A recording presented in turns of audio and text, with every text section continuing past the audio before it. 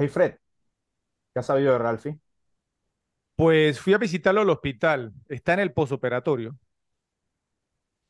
¿Y qué te dijo el doctor de su estado? Bueno, dijo que tiene una probabilidad como del 50-50 de salvarse, pero que solo hay un chance del 10% de que eso suceda. Pero entonces, ¿qué crees que debemos hacer sobre el podcast? Pues yo le dije a Ralphie que no haríamos ni un episodio más hasta que él regresara. De paso, ¿cuál era la próxima película que íbamos a hacer? Pues nos tocaba, ¿y dónde está el policía? ¿Y dónde está el policía? A continuación, por las repetibles.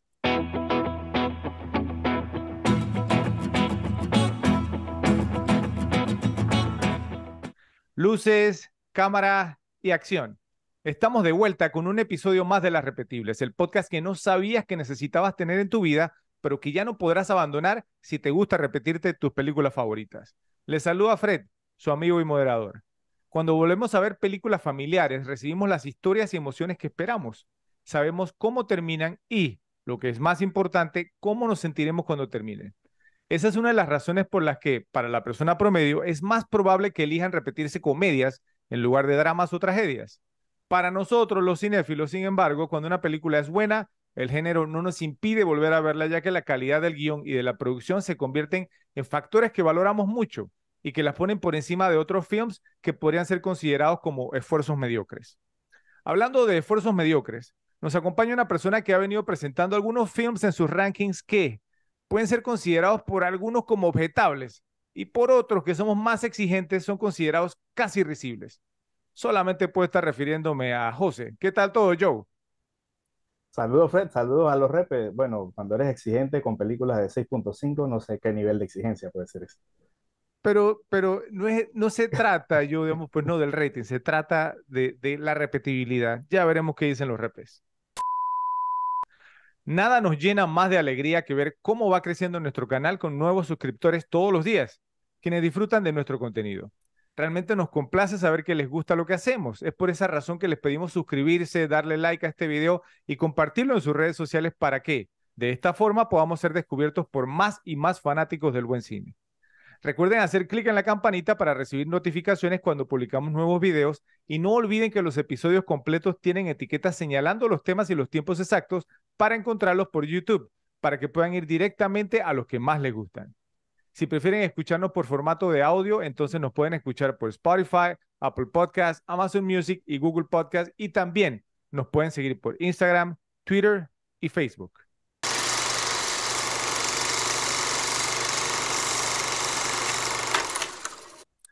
En este episodio les tenemos una de las películas más graciosas que se hayan hecho en la historia del cine, diseñada para hacernos reír al menos una vez cada 30 o 40 segundos como mínimo.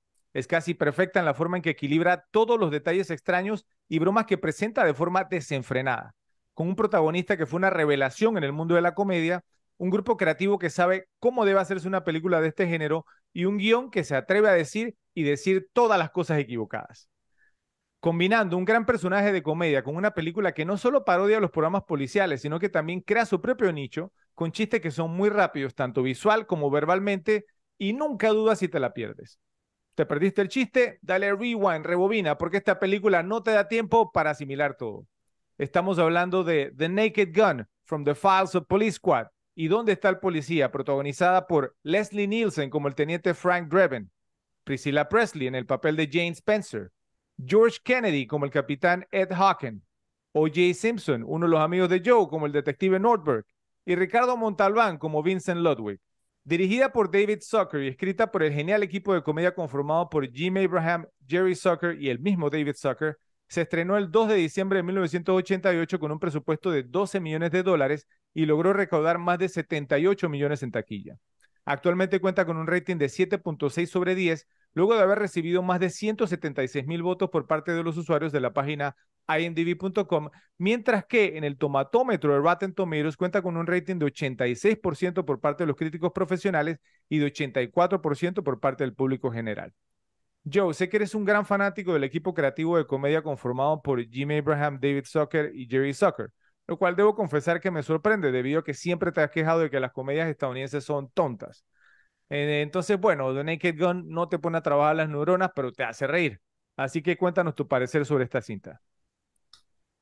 Bueno, esa, esta película, y te soy honesto, pues la primera vez que la vi, digamos que no estaba tanto en edad de aún de seguir películas por directores, digamos que fue una casualidad que yo llegué a esta película que era de directores que, de películas que ya había visto y me habían gustado, como Airplane, donde está el piloto, y como Top Secret, Super Secreto. Eh, esta película la vi en el cine en Chitré, el antiguo cine Fénix ya no existe, Oh, eh, en una de estas vacaciones pues de, de colegio y pues fui con amigos, con un primo y pues a todos nos, nos encantó, de hecho, o sea, todos somos súper fanáticos de esta película y de esta saga y de estos directores también, porque tienen este estilo muy particular de comedia, ¿no? La verdad que es una película sumamente brillante. Eh, sí pienso que estas películas de repente un poquito con el pasar del tiempo muchos chistes de momentos se pierden, ¿no? Por ejemplo, digo, la- por lo menos la parte esa, la primera parte donde están, ¿no? Los dictadores, eso probablemente un- alguien de, no sé, 15 20 años, no sepa ni quiénes son, pero la verdad que es una, es una película, como tú dices, es una película que, que está prácticamente, te estás riendo y están echando el otro chiste está pasando la otra cosa y es como, ¿no? Que Tiene como un ritmo, pero increíble, es muy, muy buena. Eh, esta película yo calculo que debo estar de alrededor de las 25 a 30 veces que la he visto, no sé, o sea, Eh, la he visto muchas, muchas 25 veces. a 30 veces. Sí, sí, sí, sí. Wow, ok. Total, bueno, una película del 88, pues me la he visto muchísimas veces, la pasaba muchísimo también en televisión. Eh, y esas son después de esas películas también que, eh, pues en los tiempos que uno que se veía más cable, pues era de que cuando tú pues ibas pasando por ahí la, y, la, y la apañabas, tenías que dejar, o sea, tenías que dejar de cambiar para verlo. O sea, una, es una película muy, muy divertida. Y pues como te digo, o sea, como te digo, no, no, o sea, de repente si esa película saliera en, en este momento y yo no hubiera visto nada de estos directores, probablemente no la he visto porque la consideraría, no sé, como tú dices, ¿no? Cine, comedias estadounidenses tontas, pero volvemos al tema de que son películas que, que me vi como de, en la edad correcta para que me gustara. Entonces, eh, eso ha hecho pues que, pues que ya, digamos que trascienda ya ese, ese, digamos, ese lado de, de, de, de no ver ese tipo de comedias eh, en este momento nuevas si salieran, por ejemplo. Ok, ok, yo te, te voy a dar el Mulligan, aunque, es decir, para mí una pe- película buena es buena, ¿sí? O sea, no, no importa en el momento en que la veas o si es graciosa o si tiene ciertos aspectos que la hacen graciosa, ¿sí? Digamos, eh, una, pues que obviamente, pues que ha estado número uno en, tu, en varios de tus rankings, que es Police Academy, que tiene una asociación con esta cinta, después lo vamos a hablar un poco más adelante. Eh, esa pe- película yo la vi hace poco y te voy a ser sincero, o sea, sí me reí de más, pero, sea, si así digamos que la consideres súper repetible, sin importar, digamos, la época en que la ves, no. Sin embargo, esta y muchas, de, de las que yo he mencionado en mis rankings, tú vas a decir, ah, bueno, pero esos son tus gustos. Pero es mi parecer, ¿sí? Eh, yo sí considero, digamos, que todavía el día de hoy se pueden repetir. Eh, tú mencionabas, digamos, algo que yo considero súper importante y que tiene que ver, digamos, pues, ¿no? Con el tema del, de la comedia como tal, ¿cierto? Y lo que, y lo que representa, ¿sí? Digamos, o sea, hablando en términos, digamos, pues, ¿no? De, de, de esta película, ahí sí, o sea, yo no sé, o sea, ¿y, dó- y dónde está el policía? Eh, y eh, yo me la vi también muchas veces. A, a veces yo, yo me pregunto, ¿no? Pues si las personas que ven el podcast dirán, pero bueno, 25 o 30 veces, ¿cierto? O sea, ¿cómo es posible? Lo que pasa es que, bueno, pues que antes, o sí, a- ahora, digamos, uno pues puede ver las cosas a, a la carte, como dicen, ¿no? A la carta, o sea, Sí, puedes ver lo que tú quieras. Si quieres, digamos, ver una película en específico, la buscas por streaming y te la ves, ¿cierto? O sea, es decir, tú no tienes por qué ver algo que no quieras ver. Y que esa es una de las razones por las cuales quizás nosotros repetíamos películas que mm, a lo mejor no queríamos ni siquiera ver, pero era porque, digamos, pues no, la- las opciones, digamos, eran más limitadas y, y obviamente, pues no, la televisión, digamos, era un medio de, entretenimiento mucho más grande, o digamos, o más popular de lo que es ahora, entonces, pues, a veces nos veíamos como obligados, pues no, a lo que había en televisión. Hoy por hoy no. Sin embargo, este, este, esta, ese tipo de películas que, te voy a ser si- sincero, yo la buscaría por streaming, ¿cierto? Si saliera hoy, contrario a lo que tú estás diciendo, que tú decíamos que si saliera hoy, la verías como una comedia tonta. Yo no, yo creo, digamos, que yo sí, sí la buscaría y después más adelante voy a decir un poquito el por qué, pero eh, yo creo que ha quedado, digamos, muy claro aquí en el podcast que yo soy muy fanático de las comedias. es uno de mis géneros favoritos sin, sin duda. En mi opinión, una de las cosas más difíciles es hacer reír a la gente y siempre he pensado que hay que ser muy inteligente y de mente rápida para crear material de comedia. Por esta razón he dicho que mi equipo creativo favorito de comedia son los hermanos Bobby y Peter Farrelly, eh, porque obviamente la comedia de ellos es un poquito más cruel, habría gente que le llamaría como comedia negra, pero yo no, pero lo entiendo. Eh, pero un cercano segundo lugar está el trío de Soccer, Abraham y Soccer. Eh, lo, lo podríamos llamar SAS, si quieren. Yo había visto Airplane y dónde está el piloto, como tú, Joe, por cable TV y me encantó desde la primera vez que la vi. Luego vi Top Secret, ¿cierto? Super secreto, obviamente, con Val Kilmer. Al igual que algunos episodios de Police Squad. Yo sí lo había visto, pero lo había visto, digamos, o sea, pues como por en reruns, ¿cierto? O sea, pues que se repitieron, no cuando, digamos, originalmente salieron. Y Police Squad fue la serie, obviamente, en que se basó esta cinta. Entonces sabía sobre el talento creativo del trío, porque al inicio de la película aparecían los nombres, pero no era que yo las buscaba, como tú y yo, ¿no? Sí, o sea, que tú lo mencionaste también, que no estábamos como en, en el tema que íbamos a seguir a un director. Y, pero aún así, creo, digamos, que por eso es que mis expectativas, digamos, eran altas. Eh, cuando vi los nombres, digamos, pues no. Y tenía mucho entusiasmo, digamos, por ver la película. Entonces la fui a ver al cine, al igual que tú yo, siendo un adolescente, y me encantó. Es simplemente una película que está diseñada para repetírtela porque tiene tantos chistes y tantas bromas visuales que nos lanzan una tras otra y que obviamente pues no vas a captar todas y hay que prestar mucha atención. Es el tipo de película que te hace reír y reír y reír hasta que no puedes más y luego después de eso te hace reír más. Es una total genialidad y una de mis comedias favoritas de todos los tiempos. Yo me la he visto como unas 16 veces y, y, sea, no sé, es como cada vez más disfrutable mientras que la veo nuevamente porque descubre chistes y bromas. Incluso esta última vez descubrí algunas cosas que nunca había, nunca había visto, eh, ni que había notado, tanto en los diálogos que se dicen como en la parte visual y los fondos que nos ofrecen. La película se destaca por sus fantásticas transiciones de, la absurdidad a la seriedad, lo cual hace una marca registrada del, del, del, del trío Soccer, Abraham Soccer, al poder sostener esta particular habilidad de mezclar los dos mundos, siendo una técnica que funciona de manera asombrosamente eficiente y esta película es una de las mejores en hacerlo.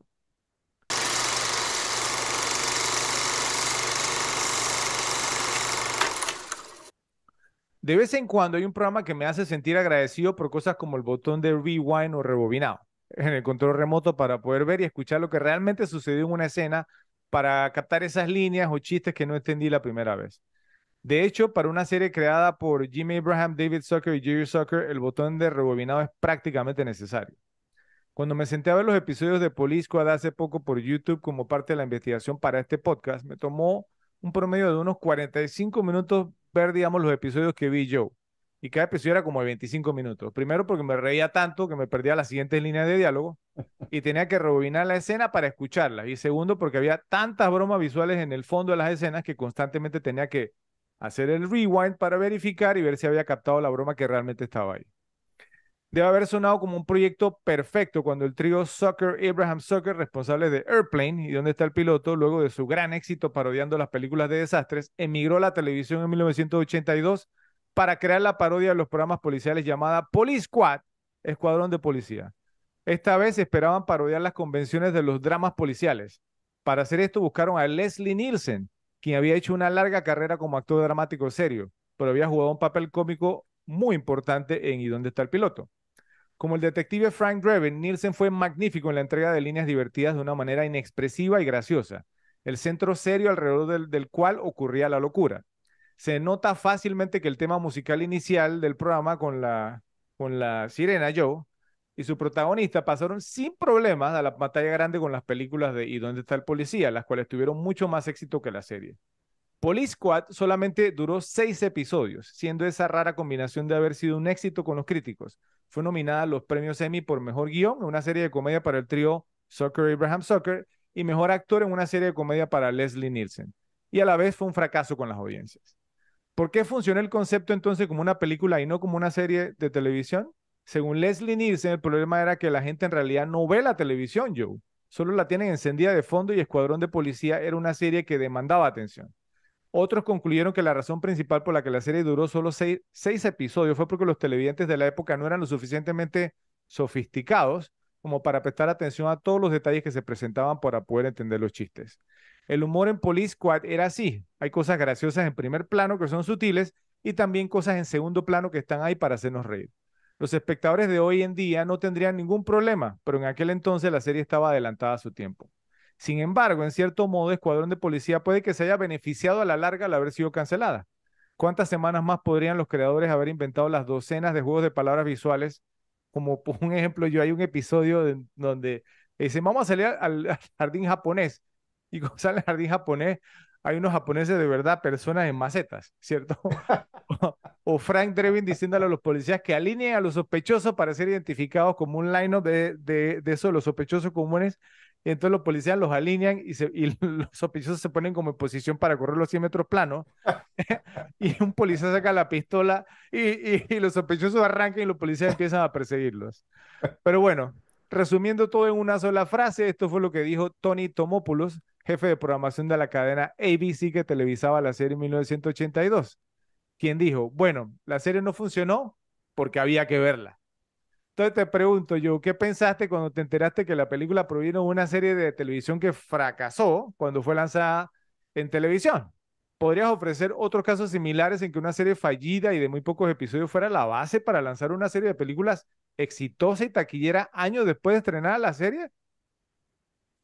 No, interesante. O sea, obviamente, eh, yo cuando vi esta película, pues no tenía idea, nunca, no, no sabía de la existencia, digamos, de, de ese programa, digo, con seis episodios. Nunca tuve la oportunidad de, ¿no? de, de- de encontrar un lugar que lo dieran.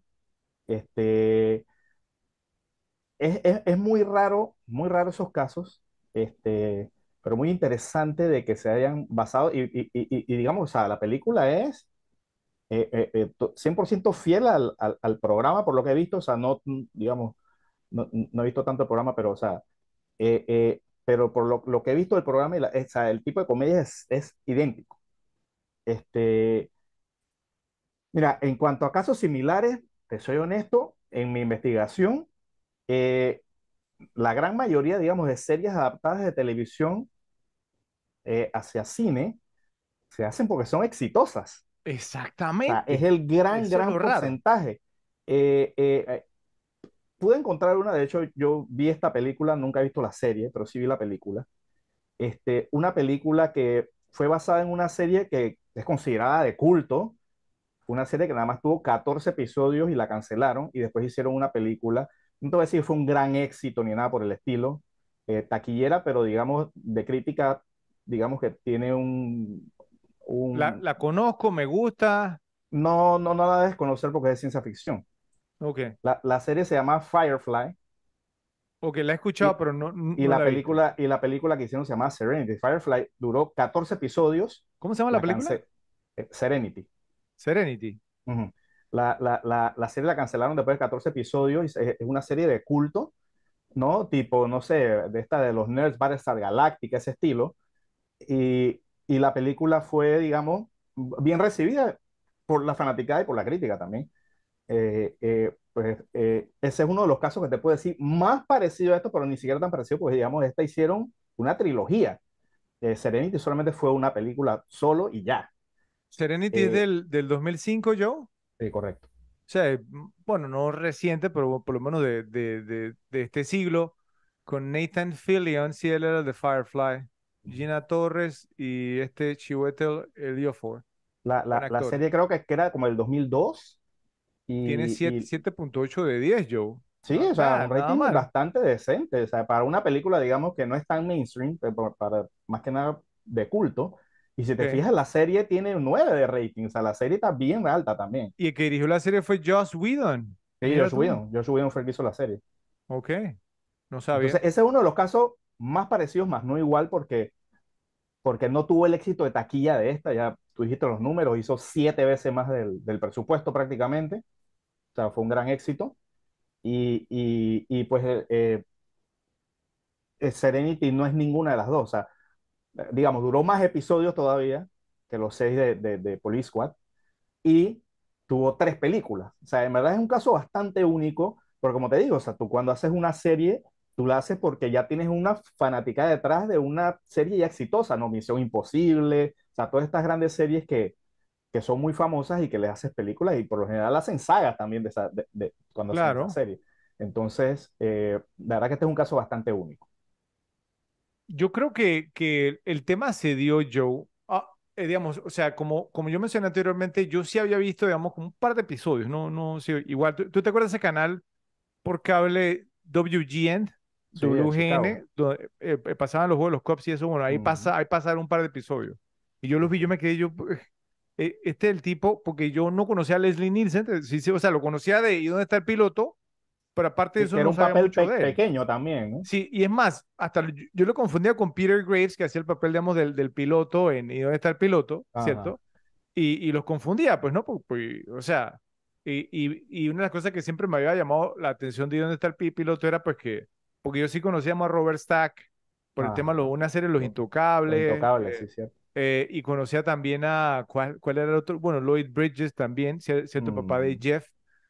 Eh, y siempre me llamaba la atención como ese tipo de humor, pues, ¿no? Como haber contratado, a ese tipo de actores para hacer películas, vamos, de comedia tonta y, y me parecía genial. Entonces, eh, yo sí vi el par de episodios y me quedé yo, wow, esta serie está genial, pero no sabía, después no la, no, no la vi más, pues, ¿no? Obviamente me hicieron seis. claro. Eh, pero creo que la razón por la cual le habrán aprobado, digamos, pues no, la, la película, primero pues el pedigrí, ¿no? El caché que, que tenía el trío SAS, Claro. ¿cierto? Pues habían hecho ¿Y dónde está el piloto? Que fue un exitazo. Y Top Secret también. Top Secret, ahora, Top Secret, no sé, tendríamos que ver, obviamente va a ser un episodio aquí en la repetible, Top Secret. ¿cierto? Pero tendríamos que ver Y porque- Airplane también.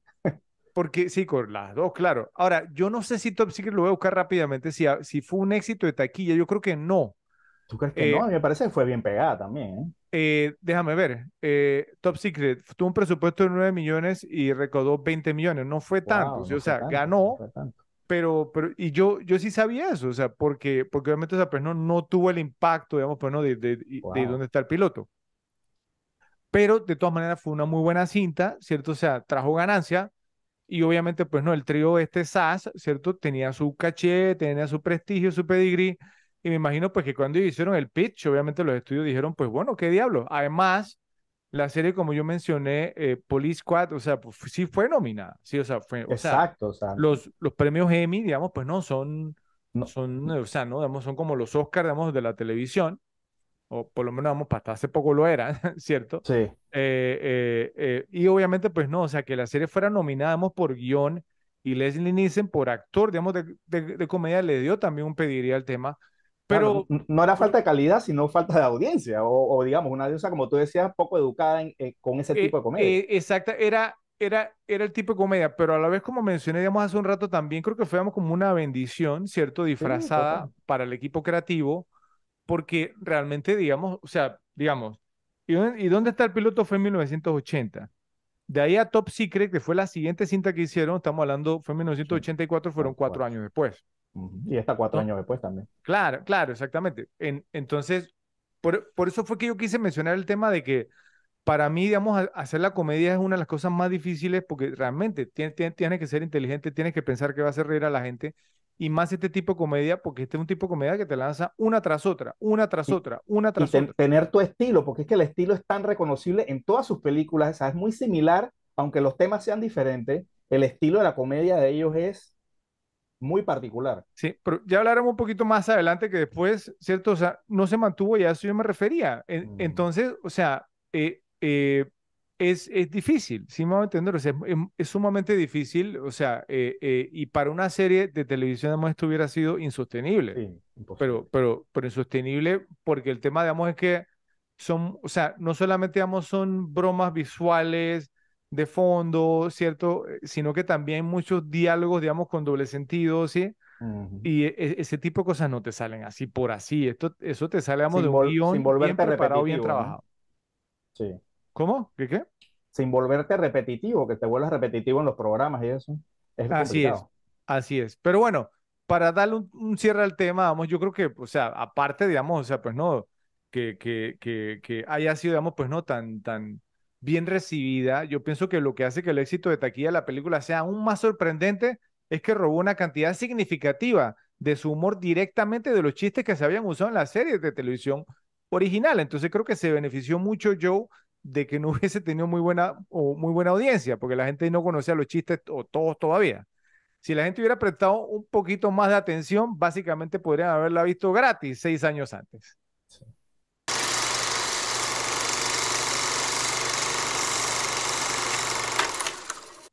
Al haber sido críticamente aclamada, la serie Escuadrón de Policía contó con muchos fanáticos que odiaron el hecho de que fuera cancelada y que, como sucede con los fanboys de hoy en día, se emocionaron al enterarse de que su serie favorita sería adaptada para la pantalla grande.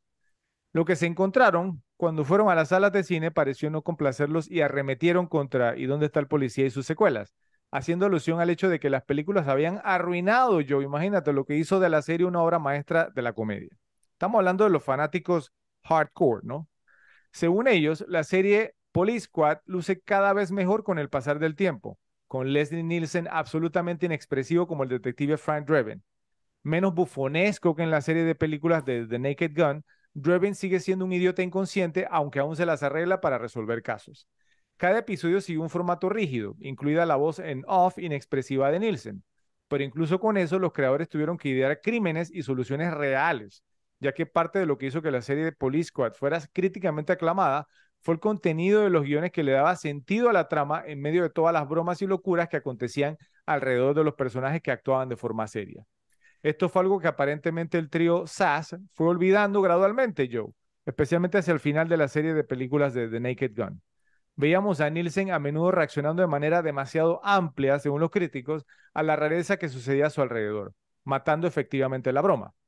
En Police Squad, sin embargo, estando en su apogeo cómico, Nielsen pronuncia cada palabra con la mayor sinceridad y seriedad.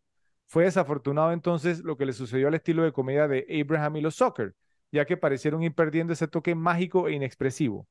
Nielsen y otros miembros del elenco reaccionaron con demasiada frecuencia al caos que los rodeaba y disminuyó el, el cociente de humor realmente de las películas. El trabajo de Nielsen, así como el de profesionales veteranos como Robert Stagg y Peter Graves, cautivó en ¿Y dónde está el piloto?, como lo mencionamos hace un momento, y el estilo se sostuvo en Police Squad. Pero cuando surgieron las películas de The Naked Gun, especialmente las secuelas, según lo que dicen, el personaje de Frank Drebin se volvió más sobre ser tonto y atrapar accidentalmente a los ladrones.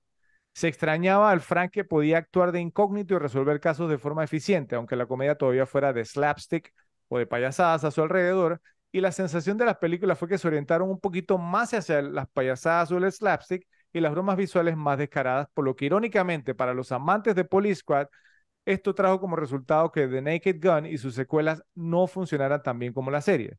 Entonces, al final del día, Joe, es un debate de taquilla contra reconocimiento crítico. Entonces te pregunto, ¿qué opinas de lo que expresaron estos críticos al señalar que la serie Police Squad era mejor que la película debido a que en su trama, o que su trama por lo menos no pensaba en sí misma como una comedia? ¿Has tenido la oportunidad de ver la serie para compararla con la película? Entonces te pregunto también cuál consideras que es mejor y por qué. Eh, ok, o sea, he visto la serie por pedazos, digamos, por highlights, varios highlights porque hablan y mencionan, digamos, las similitudes que tenía la serie con, con la película, pero no me he visto episodios enteros ni, digamos, toda la serie, mucho menos. Eh, pero me parece que, o sea, obviamente cuando, cuando tú tienes una serie como esta, eh, al ser un, ¿no? un, un, formato más corto, también tienes como que condensar las cosas con una película de repente un poquito más para, para, ampliar y no tampoco meter tanto ese ritmo frenético. para que yo pienso que eso puede ayudar a la película a que llegara más gente, de, digamos que te dieran por lo menos cierto descanso que probablemente la serie no te daba por, por digamos, por el tiempo que, que, tienes para grabar un sitcom. Eh, eh, eso pienso que puede ser una, una de las diferencias, o sea, lo que tú dices de que, de que, o sea, esta es como la clásica discusión de, ¿no? de la gente que lee libros y después ve adaptación. Exacto. Es, es, lo mismo, o sea, el que lee el libro, eh, eh, eh que, uy, en la película no pusieron esto y que no hicieron esto, o sea, al final tú tienes que adaptar incluso, adaptarte incluso al momento, porque 1982 no es 1988, entonces también tienes un poquito que, ¿no? parecen pocos años, pero probablemente había un cambio de inicio de década finales de década. Claro, o sea, había que hacer un cambio del mismo personaje para hacer gracia de otra manera. O sea, y, digamos, si, si, tú le preguntas a las masas, eh, eh, te aseguro que más gente tiene a Frank Drebin de la trilogía que al Frank Drebin de la serie, obviamente. Entonces ese es el que queda. Y si queda, y si quedó, y y se quedó, y se le quedó a muchísima gente por el trabajo que hizo, por cómo era el personaje, entonces yo pienso que al final fue exitoso. Eh, aunque no haya sido exactamente igual como era en la serie. O sea, porque esta trilogía, veas como, tú- vea- veas como tú veas, digamos, una trilogía de películas inmortales que a muchísima gente le gusta y que no sea exactamente igual a la serie, pues no quiere decir que no haya conseguido, ¿no? su meta, su gol, que era llegarle a mucha gente. O sea, eh, eh, Leslie Nielsen es Leslie Nielsen por la trilogía de películas y no por la, y no por la serie. Es así. Entonces, algo bueno tuvo que haber tenido el personaje, aunque no le haya gustado, digamos, a los hardcore fans. Sí. Ahora, eh, digo, yo, yo, yo creo que es inaudito decir que la, la, la serie de Naked Gun no fue exitosa, fue muy exitosa, ¿cierto? Las películas son muy conocidas. Y, y me, me gustó la comparación que hiciste, Joe. Eh, mira, con, con el tema, vamos como de, de comparar una obra literaria, ¿cierto? Porque obviamente creo que, o sea, cuando se escribamos una novela o un libro, que es- es- esa es como la forma más pura, ¿cierto? Del, del, del contenido que se puede tener, ¿sí? Y obviamente, digamos, lo mismo su- sucedió con Police Squad, la serie. Ahora, algo, porque mira que pensando también yo, o sea, quizás debí haber mencionado esto en el segmento anterior, pero creo que aquí queda igual también, eh, o, o queda bien igual. Eh, mira que una de las cosas en, en la, en la que mentalmente estoy, estoy reparando era que es que la serie como tal no tenía laugh track, o sea, como las risas estas grabadas de jaja, ¿sí? Entonces, y tú sabes, pues, ¿no? Que, que estas risas es como también a veces sirven como un aviso para, para la, la teleaudiencia de cuándo, cuándo te tienes que reír, Y, y ¿sí? cuando tienes que callarte también, porque cuando Y termina la cuándo te risa, tienes que callar. Entonces, la, la serie no tenía laugh track, ¿cierto? Entonces, eh, yo puedo entender, digamos, por qué los que son fanáticos de la serie la verían, digamos, como más sofisticada, ¿cierto? Que las películas obviamente tampoco tienen, tienen el laugh track, Ujú. pero era porque, eh, o sea, eh, era una serie como que realmente, como mencioné, tenías que prestarle atención y tenías que estar pendiente y era como un tema de, de, de orgullo, ¿cierto? A ver cuántos chistes capto, cuántas bromas agarro, ¿sí? Y, y también recuerdo yo, o sea, digamos, de lo que vi, o sea, hay unas partes muy, muy, muy graciosas. Y, y sí es cierto, o sea, la serie tenía como un tono, o sea, que se, se dedicaba como un poquito más al guion, si me a entender, o sea, y como que eh, el, o sea, como que la trama era importante y los actores lucían más seriamente, ¿cierto? O sea, y trataban como no reaccionar a las payasadas. Digamos, había un personaje, creo que a ti te encantaría este personaje, se llamaba Johnny, que era como un limpiabotas. Entonces, Johnny era un tipo que sabía de todo, ¿cierto? O sea, él eh, eh, lle- lle- llegaba Frank y se sentaba, ¿no? A que, le ilustrara los zapatos y le decía, Johnny, ¿qué has sabido de tal y tal? Y Johnny miraba hacia los lados y, y, decía, no, que mira, que, que, que por ahí en la, en la calle estaba hablando de esto y esto y esto, ta, ta, ta, ta, ta, ta, ta, ta, y Frank, y le preguntaba cual- cualquier cosa, y de repente, en cada episodio, cuando se iba Frank, iba llegando alguien, digamos, en, en un episodio eh, venía llegando Tommy la Sorda, el que era el manager de los De los Dodgers, Sí, Johnny, eh, eh, mi rotación, digamos, de, de pitcher, digamos, o sea, pues no, no sé qué hacer, bien, se vino un road trip, digamos, o sea, una visita, como, co- vamos a visitar tres, tres series, y, y Johnny le decía, bueno, mira, tra- trata de recortar la rotación, ¿cierto? Porque tu cuarto abridor no, no, no está luciendo bien, entonces, o tu quinto abridor, ¿no? Entonces, vete, vete con los primeros cuatro, que no sé qué, "Gra- gracias, Johnny, gracias, y de repente llegaba y que Dick Clark, el presentador, digamos, de, de- de- del programa este, de la música y esto. Hey, Johnny, que no sé qué, me están saliendo canas y no sé qué. Y Johnny, bueno, hay una nueva fórmula que no sé qué. Johnny lo sabía todo. Entonces, ese tipo, digamos, como de detalles. Y también me acuerdo que al inicio, cuando eh, ponían, digamos, entonces, pues como la, la secuencia de créditos, o sea, al inicio, o sea, si tú no sabías, se veía como algo serio, ¿cierto? Porque éramos, o sea, pues no, que, que Frank sacando su pistola y disparando, y el otro, digamos, el, eh, como, como el jefe de él también disparando, y lo que te, te, te delataba que era una broma era, digamos, como que te, te ponían que el nombre, el, o sea, la voz en off, o sea, como dice, escuadrón de policía, ¿no? Con el, con, con el protagonista Leslie Nielsen, ¿no? El episodio de hoy se llama, eh, eh, eh, no sé, si asesinato en el teatro. Y, entonces él decía algo, pero en pantalla apareció otra cosa. Y después, sí, y después, bueno, y el invitado especial, ¿cierto? Entonces eh, este el de Bonanza, Lo- Lorne Green, y salía Lorne Green y que, que lo lanzaban de un carro todo amarrado, ¿eh? ¿no? Pero él moría en la intro, ¿sí? O sea, realmente no era un invitado especial. Entonces, ese Sí. tipo de detalles, o sea, hacían realmente, digamos, como que no sé, era diferente a la película. Entonces, no te puedo decir, digamos, o, o sea, pues cuál, cuál, fue mejor. A mí me encantan las películas y, y, como, y me imagino pues que, o sea, al igual que, que, que tú, yo me identifico más con las películas, ¿cierto? Porque las vi y aunque había visto, digamos, un par de los episodios de la serie, no fueron como para que me dejaran, digamos, esta marca. No sé claro. tú, o sea, pues no, ¿qué, qué opinas de todo esto que Mira, honestamente tenía que ver la serie pero te soy honesto, a mí me gustan las reacciones de Leslie Nielsen en las situaciones. O sea, lo que tú estás diciendo que a la gente no le gustaba, cuando pasa una cosa y Leslie Nielsen reacciona y pone una cara o lo que sea, eso a mí me encanta, o sea, me da mucha risa. Sí, sí, digo, siendo, digamos, de las últimas, ¿no? En la tercera parte, la parte cuando, pues, pues Ana Nicole Smith se ve que tenía premio, ¿no? Sí. Esas reacciones de Leslie Nielsen, a mí me encantan. O sea, tendría que ver la serie de repente para decir que, uy, pienso que este, siendo sí. serio, para tener un comparativo, pero honestamente no me molestan, de hecho me gustan. La, la serie es buenísima, es buenísima. El tono me encantaba también, o sea, era un tono diferente, pues, ¿no? Sí. Pero las películas, vamos, a mí me encantan. Eh, quizás, digamos, la tercera no, yo, yo, yo diría que la segunda es mi favorita. La segunda es la sí, mejor. La primera, digamos, entonces, a mí me encanta, pero sí me extrañó, digamos, entonces ver como que eh, no solamente los críticos, digamos, o sea, los amantes de Police Squad, sino que a algunos críticos les parece, o sea, que la, la primera fue, fue la mejor. A mí me gusta más, más, más la segunda, pero bueno, o sea, es cuestión de gustos, ¿no? Pero sí. al final del día, como todos sabemos, eventualmente hubo dos películas más, lo que estamos hablando en la serie, y se usaron más bromas del programa original, además de todo el material nuevo. Pero el material de origen sigue siendo muy, muy divertido y se mantiene bien, incluso hasta el día de hoy. Los juegos de palabras inteligentes, los chistes visuales y la entrega directa e inexpresiva de material escandaloso son atemporales. Un buen chiste, bien hecho, puede durar y dura toda la vida.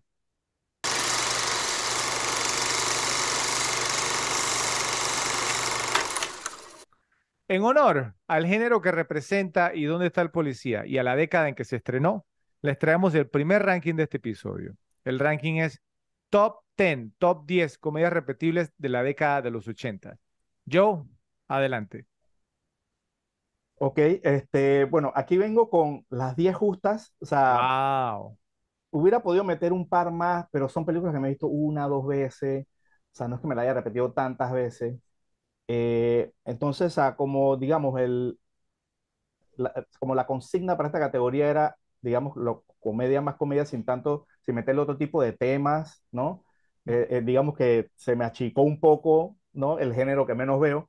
Entonces, digamos, vine con las 10 justas y probablemente hay un par refutables, pero bueno, vamos a ver, vamos a ver. Pero, pero yo, yo considero yo pues que era como lo más saludable que lo hiciéramos así, ¿no? Sí, porque Sí, yo sí, imagino sí. porque habrá personas que, que refutarán, ¿cierto? Pero yo creo, digamos, o sea que la comedia es un género tan amplio, ¿sí? Eh, y, y para explicarle, digamos, lo que decidimos fue, obviamente, porque no, no íbamos a enfocar en este ranking comedias puras, es decir, porque, digamos, lo, o sea, una década cubre comedias románticas, como cuando Harry conoció a Sally.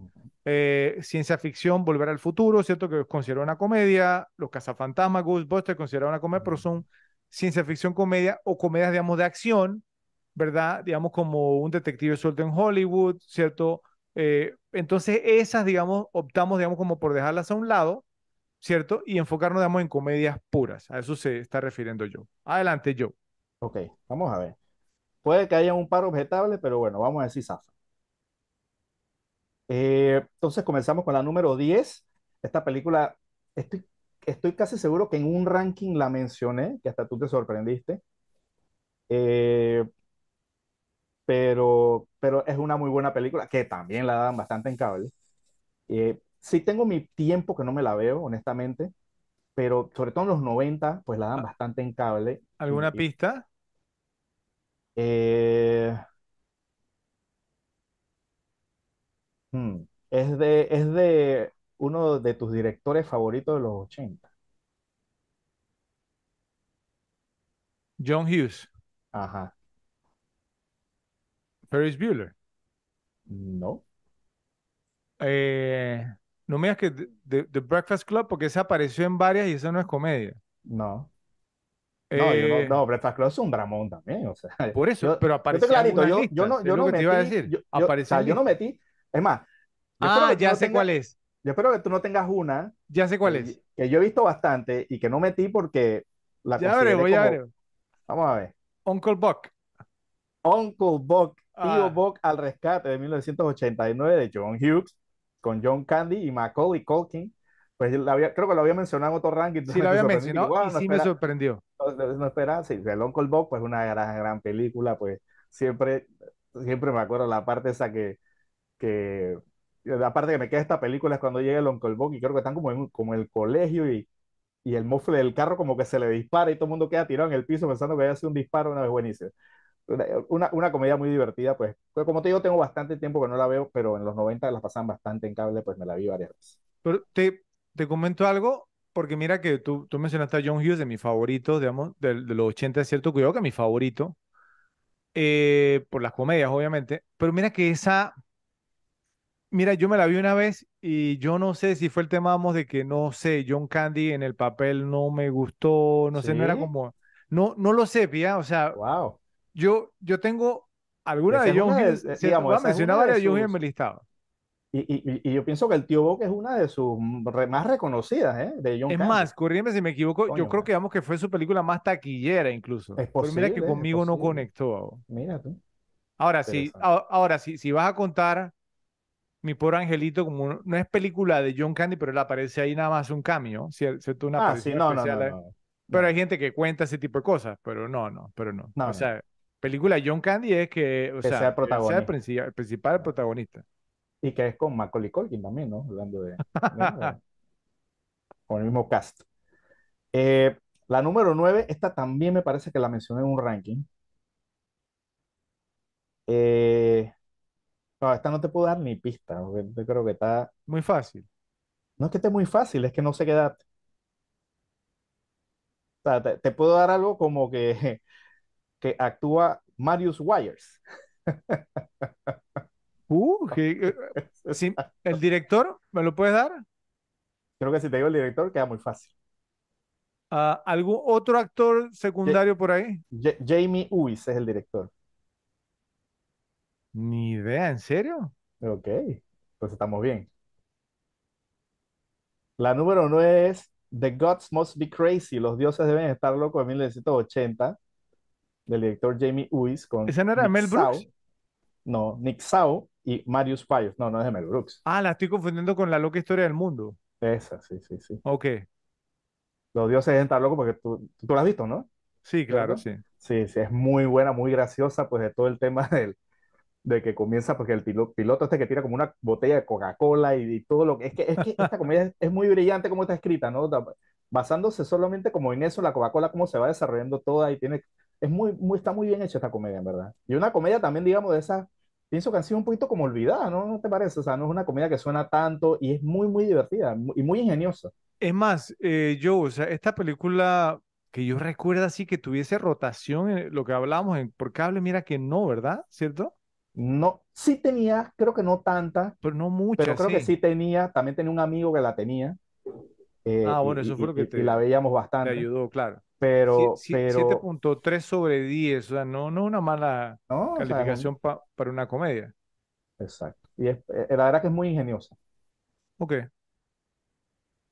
La número 8,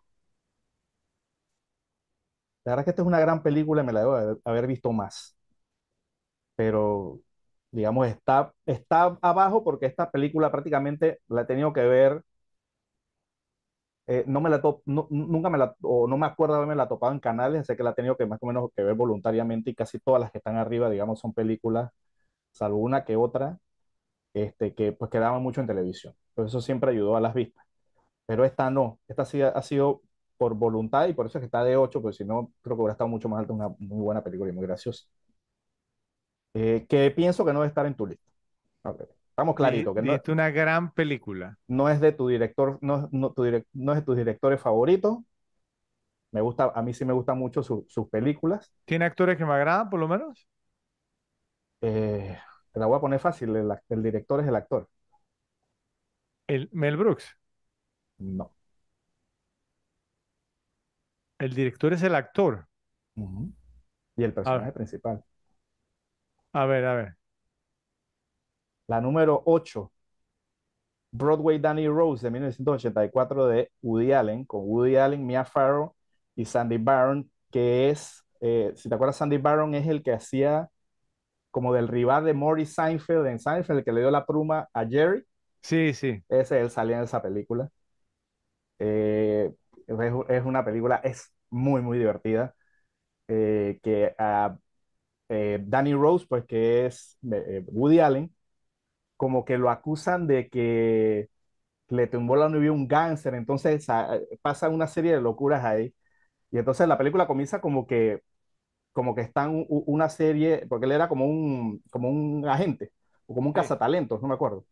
Y ¿Pero de béisbol o, o sea, o no, de, no, no, de, de- de- de del medio de, de showbiz, ¿no? Ok, Y entonces, eh, eh, y, y la película comienza porque están varias gente ahí como del medio hablando, entonces comienzan a hablar de Danny Rose, porque están diciendo que no, que vaina, que, que, que yo imitaba a fulanito de tal, no sé qué, y de repente la película co- co- comienza, que uno de esos es este que te digo que sale en Seinfeld, y, y la película pues comienza pues con Woody Allen, con sus diálogos y toda esa locura, entonces que está como comía Farrow, y llegan como una fiesta, entonces ahí lo acusan de la cosa y comienza toda la perseguida, pero es muy, muy gracioso, muy, muy, muy al estilo de Woody Allen, con muchos diálogos y situaciones, digamos, así todas pues, loquísimas que pasan, pero es muy gracioso. Bueno, te la, te la iba a refutar, pero no, no, no puedo porque, o sea, aparece como bajo una sola categoría que es comedia Sí. eh, y no hay más nada, ¿sí? Porque usualmente, o sea, las películas, digamos, de Woody Allen siempre tienen una mezcla, así voy a entender, o Sí, esta sea, no, esta no tiene drama como algunas o, o sí, romantic, nada de eso. O sea, es más que nada. sí, Si, a- si, si tuviera que poner una subcategoría, sería como crime comedy, ¿no? Má- más que nada. ok, ok. Te soy Eh, sincero y lo, lo, lo habíamos hablado porque la habías mencionado en un ranking anterior. Yo no la he visto, te soy sincero. No, no la he visto. gracioso. Es en blanco y negro, ¿no? Pues Es para, para los repes que no la conocen y cuando estén considerando verla, tengan eso en consideración. Sí, como algunas, como Manhattan también. Bueno, Manhattan no es comedia, sí es más drama, pero, Woody Allen se hace su una que otras así. Young, Young Frankenstein de los 70 Ajá, pero ese es de Mel Brooks. Sí, sí, pero, pero estoy hablando, vamos, un tres en blanco y negro. Sí, sí, todo correcto. Eh, la número 7 también la mencioné en algún ranking anterior. Esta la debes tener en algún lugar de tu ranking, porque sé que te gusta, eh, ¿no? Con todo el tema deportivo. A ver si sabes cuál es con ese dato. Ok, La he si es la, mencionado, si es la que estoy pensando, yo no no la es incluí porque no, es, no es es Bull es porque es romántica. no es Bull Durham. Ah, ok, Bull, Bull Durham no es. Tema deportivo de los 80. No es Teen Wolf, porque Teen Wolf no te gusta. Tiene básquetbol. No. Ah, Deportiva full. deportiva full. No sé. Necessary Roughness, no es de los me 90. extraña que, me extraña que no la tengas en tu ranking, ¿eh? O No, sea, no, sí, última hora sí la tengo, pero, pero no la estoy ubicando ahora mismo porque eh, mi ranking viene bien poblado, te voy a ser sincero. No, Viene no bien poblado. Bueno, Pero vamos a ver si, vamos a ver si dame una porque- pista, dame una pista. Ah, a ver, la pista es que es de béisbol. Ah, Major League. Major League, Ligas Mayores de 1989 de David S. Ward, con Tom Berenger, Charlie Sheen y Corbin Bernsen. Creo que la había mencionado también en algún ranking anterior, no me acuerdo de qué, pero una, o cuidado que dos rankings, si mal no recuerdo. Eh, pues obviamente esta entra en la categoría de, también de películas que daban en cable muchas veces, pues Wild Thing, todo este tema. Pues, y, y, y, una película ¿no? que se convirtió como en referente al, al, en los mismos deportes reales, ¿no? Cuando había un personaje o un jugador de la vida real que se asemejaba a uno de estas películas, pues le clavaban el sobrenombre y todo este tema o, o lo comparaban, pues. Sí, Pues como película, Mitch pues, Williams se le pusieron Wild Thing. exacto, exacto. O sea, Y es eh, más, eh, hasta algunos asumían el rol y ponían la canción cuando venían del bullpen. exacto. O sea, fue una película que, que, que tuvo su influencia, ¿no? Ok, ahora, voy a, yo creo que lo, lo que voy a decir te va a extrañar un poco, que usted va a sorprender. ¿Por qué? Porque estamos combinando, o sea, tres de las cosas que más me gustan a mí, ¿cierto? Que, que son la comedia, ¿cierto? Los deportes, o sea, una temática deportiva específicamente del béisbol. Y tercero, pues no, la película ochentera, porque aunque no son las mejores, pero uno, uno tiene un lugar, digamos, muy grande en su corazón. Tienen Y, su mi- y- y mira que esta no está en mi ranking porque no me la he repetido más que las otras que voy a mencionar. ¿Y sabes por qué creo? O sea, porque lo, lo estuve pensando por- por- porque yo la vi, yo dije, oye, ¿por qué esta película no me la he visto más? Y es porque yo creo que en ese momento, pues, o sea, no, el béisbol era como algo muy importante. Para mí no me gustó la burlequería con el béisbol, ¿cierto? Y entonces, y precisamente las cosas que tú dijiste, sí, digamos, o sea, pues no, de que como que se trasladaron, digamos, pues no, al, al, al, al béisbol real. real. y que hubo jugadores, digamos, o sea, pues, que, que asumieron, digamos, ese tipo de cosas y a mí no me gustó tanto, ¿sí? Y eso que yo era un adolescente, ¿sí? Eh, y, y, y no sé, no, y no sé, como, como el tema, digamos, como de que la exageración, que obviamente es parte de la comedia, ¿cierto? Claro. Como el tema de la exageración del béisbol, no sé, eh, eh, o sea, eh, Major League de 1989, Ujú. entonces creo que para esa época había a películas como Bull Durham, que era una comedia, pero que tomaba el béisbol en serio, Field of Dreams eh, of Dreams, Campo de Sueños, eh, Eight Men Eight Out, Men ¿cierto? Out. Ocho hombres fuera. Entonces creo que como me agarró ahí en esa zona, ¿cierto? Y el béisbol era pues tan importante para mí, creo que no me cayó bien del todo, que sí me la repetí unas veces, pero mira que es por eso, ahora que haciendo el análisis fue por eso. Estaba, estabas más para el tema de drama y todo ese tema, ¿no? Eh, o, o- o la comedia como, como, como Bull Durham, ¿cierto? O sea, eh, eh, más o menos algo así. Sí, Menos, me- menos burlesca. Sí, porque hubo otras también comedias de béisbol que tampoco es que me, que me, que me cayeron bien, sí, del, del tema, pero bueno. No, eh, como Angels in the Outfield y todo eso. Bueno, Angels in the Outfield es un clásico. ¿Clásico de qué? De, de las malas. Tiene a Danny Glover, bro. A Jo- Joseph Gordon-Levitt y lo más importante, tiene a los Angels, Joe, tiene a los Angels. ¿Qué pasa? Qué. Bueno, la número 6. Ok, vamos a decir, pones un pero aquí. Pero vamos a ver, vamos a ver, vamos a ver qué tú consideras. Uh-oh, uh-oh. La número 6 es Racing Arizona, Educando Arizona de 1987 de los hermanos Coen, con Nicolas Cage, Holly Hunter y Trey Wills. Es un comedy crime. Sí, yo me imaginé que tú le ibas a poner. ¿Es más Que sí, crime que comedy o más comedy que crime? nada más comedy que crime. Yo pienso que el crime es bastante, bueno, no es secundario porque digamos que la- se la pasa cometiendo crímenes, Por eso te estoy diciendo. pero es que es muy, es, es muy graciosa. O sea, Es yo pienso lo, que el, es lo suficientemente alocada para darte el mulligan, yo. sí, total, o sea, es más, i- i- incluso, aunque no aparezca, digamos, como, como, como, digamos, un género, tiene su poquito de drama también, ¿no? Un poquito de Sí, drama también sí. tiene la película, pero, Ahora, pero es ahora, que si vemos, graciosa, muy graciosa. ahora, si hoy por, o sea, seamos sinceros, yo, o sea, si, si hoy por hoy tú le dices a una persona que un, un elenco que incluya a Nicolas Cage, Holly Hunter y Frances McDormand, ¿cierto? Sí, Y que no es una comedia tipo slapstick como esta, así como ¿Y dónde está el policía? Creo que la persona te diría como que eh, no me imagino a esos, acto- a esos actores haciendo comedia, sí, ¿cierto? muy Pero eran tiempos diferentes. Muy graciosa. La Arizona a mí me encanta. Ok, te voy a dar el mulligan, dale. Ok. Bueno, creo que de aquí en adelante no hay nada que objetar. Esa yo creo que era la más refutable. Espero, espero. Así que nos vamos con la número 5. Sí, aquí hay una, carre- una seguidilla aquí de, ¿no? de, fana- de fanatismo. La número 5, Top Secret, Super Secreto, de 1984, de Jim Abrahams, David Zucker y Jerry Zucker, los vimos, pues, digamos, de las que estamos haciendo en el podcast, con Val Kilmer, Fred se, la sonrisa de una vez, Omar Sharif y Jeremy Kemp. Pues ya lo hemos dicho, somos, yo por lo menos, Fred también lo es, fanatiquísimo de estos directores, pues Top Secret, otra de estas películas que también, con, este mismo estilo, pues de Naked Gun, de Airplay, con muchos chistes, con mucho eh, eh, eh, detalle, con mucho absurdo también, ¿no? Cosas que pasan increíbles, o sea, eh, es que eso es lo que te digo, en antes que, pues, que hablaba de que no, que si saliera ahora, yo pienso que a lo mejor si saliera ahora me gusta porque me gusta el estilo de comedia de ellos, o sea, que no es tanto el de los Farrelly.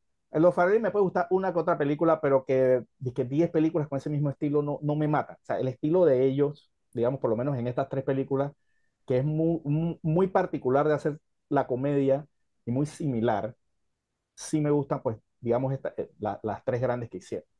Y bueno, Es que yo, yo creo que, que lo que a ti no te gusta de los Farrell es que la comedia de los Farrell a veces, pues, digamos, se considera cruel, pero lo que a mí me gusta, digamos, es que, es que, o sea, es que sí yo, bordea con lo cruel, pero tiene corazón, ¿sí me voy a entender? O eh, sea, a, mí me, a mí me gusta Pulp Fiction, que más cruel que eso puede haber. eh, eh, Es por, es No por es eso, por pero es que, cruel, no es por lo cruel, a, es a por mí me gusta la comedia de los Farrelly porque tiene corazón, pero a la vez, digamos, es, o sea, es, ah, te da en la cara.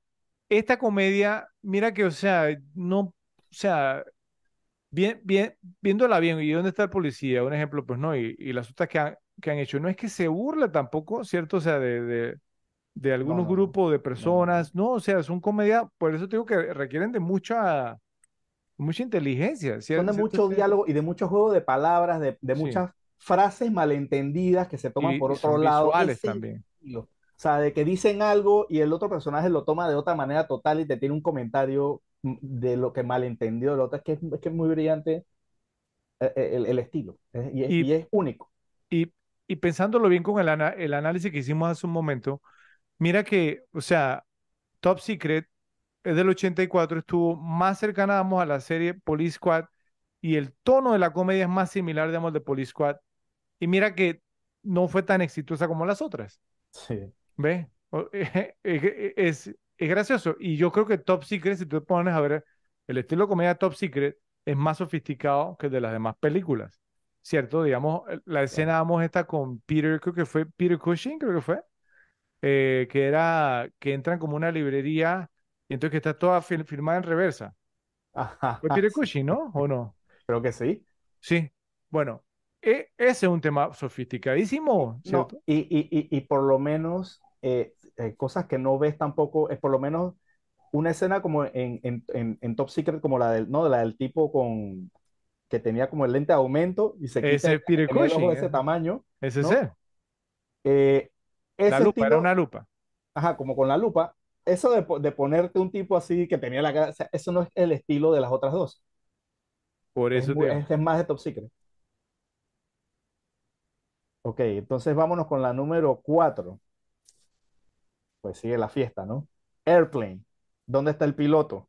De 1980, Jim Abrahams, David Zucker y Jerry Zucker con Robert Hayes, Julie Haggerty, Leslie Nielsen y Robert Stack.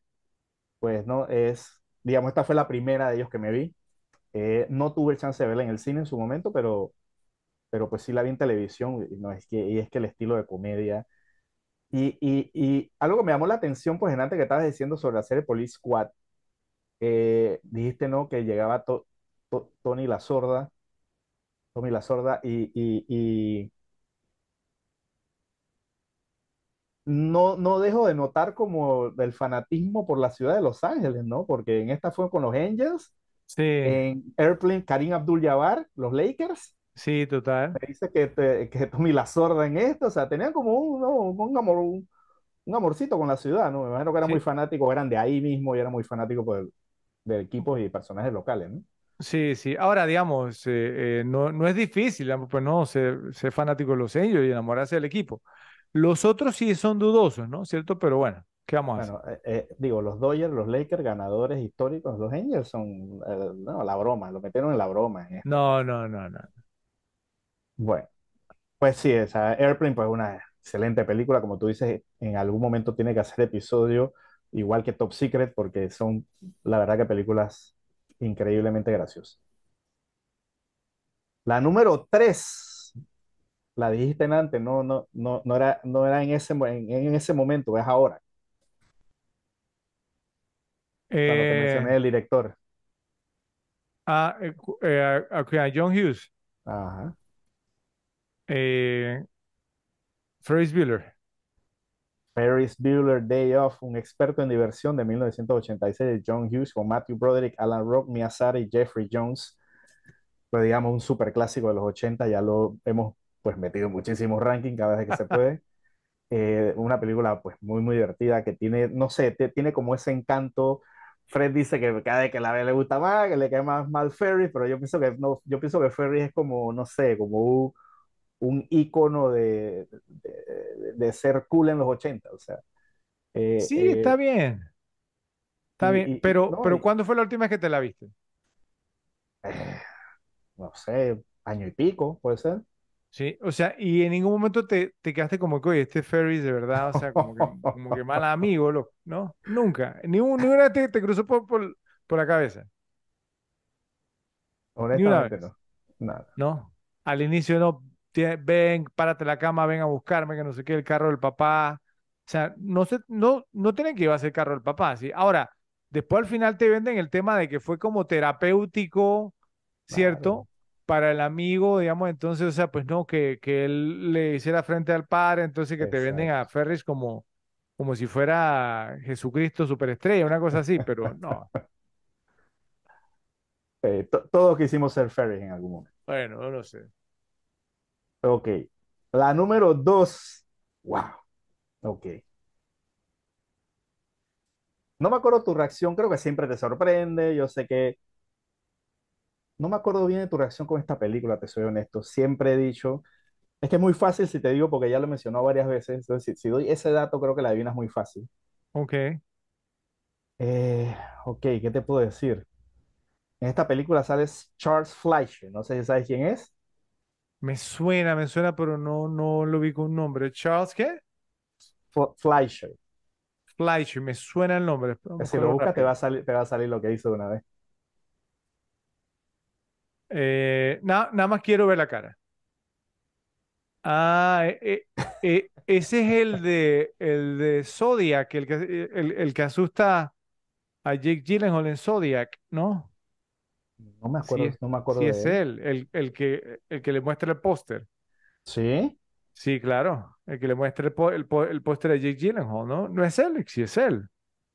Búscalo rapidito pa- para confirmar eso. Por la cara, creo que sí o no. Ah, Bueno, no, no, no es él.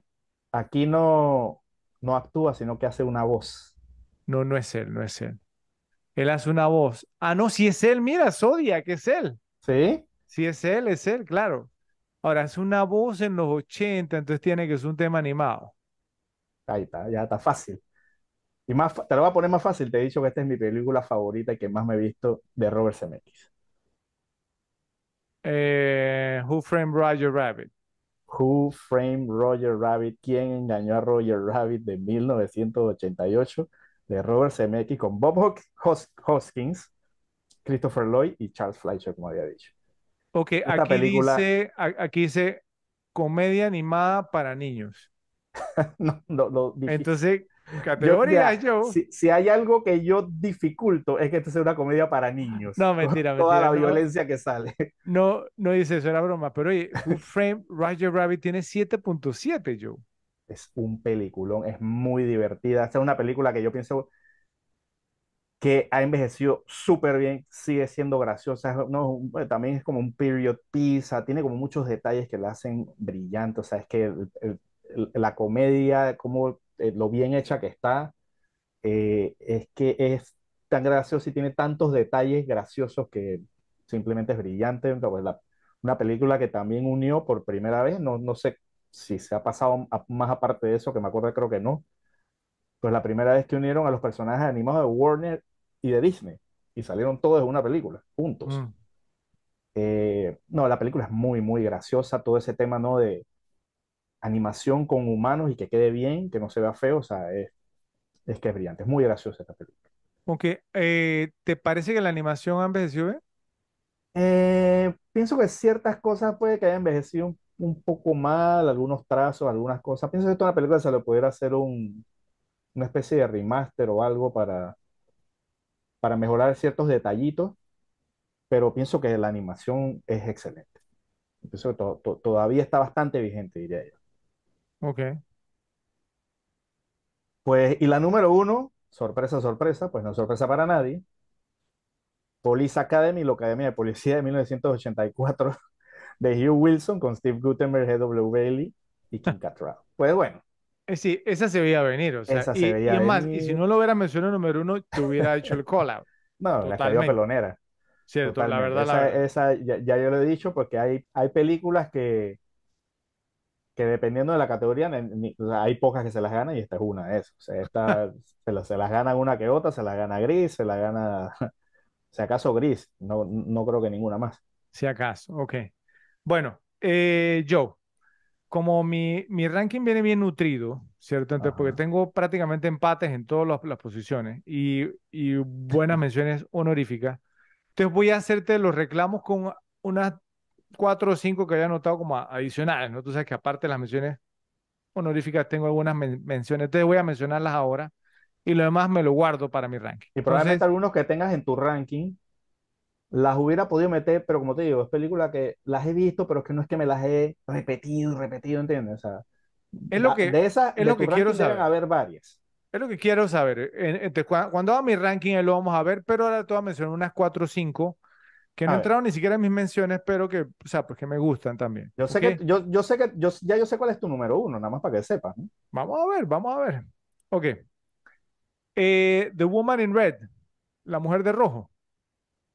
Con Gene Wilder, me la vi, me la vi, digamos, considerablemente unas tres, cuatro veces, pero eh, me, me las vi como tres, cuatro veces como en un año y después no la vi más. Muy, muy graciosa, dirigida por Gene Wilder, Por mira. Gene Wilder. Ok.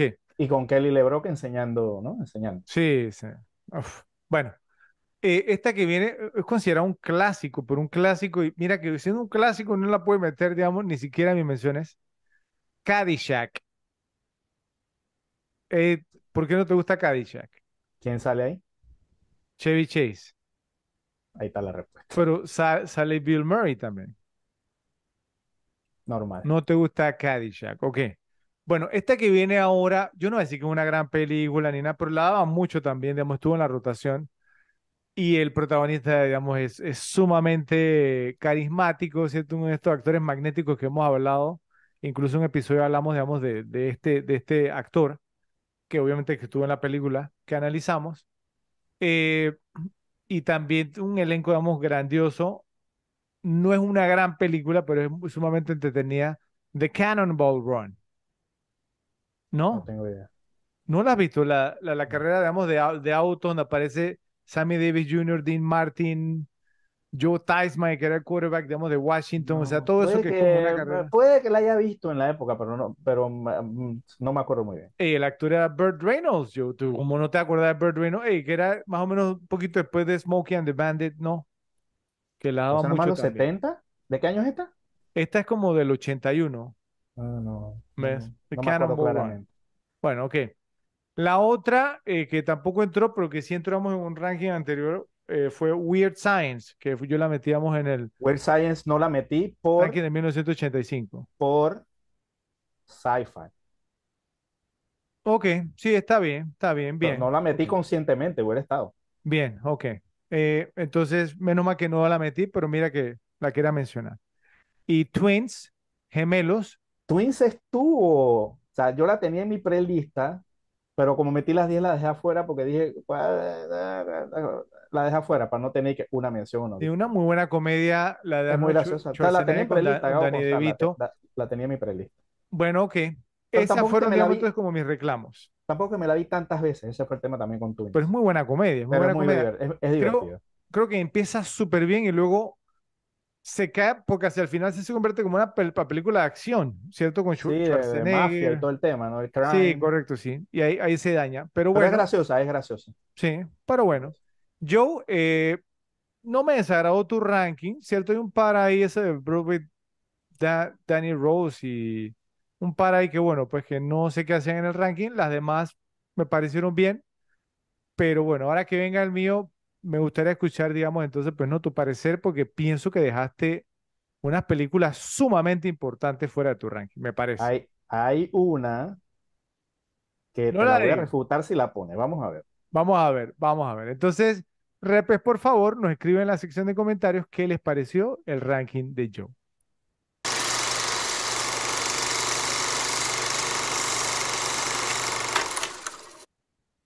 Ahora voy yo con mi ranking, yo, mi ranking de las top 10, top 10 comedias repetibles de la década de los 80. Y déjame decirte, Joe, que es un listado súper nutrido, ¿cierto? Es mi género favorito. Ahora, los 80 no fue el mejor, la mejor década para películas, pero creo que está en la competencia, que no vas a estar de acuerdo conmigo porque tu ranking fue muy poco poblado. Eh, para mí esta competencia de la mejor década para las comedias. Vamos a ver, digamos, entonces el ranking.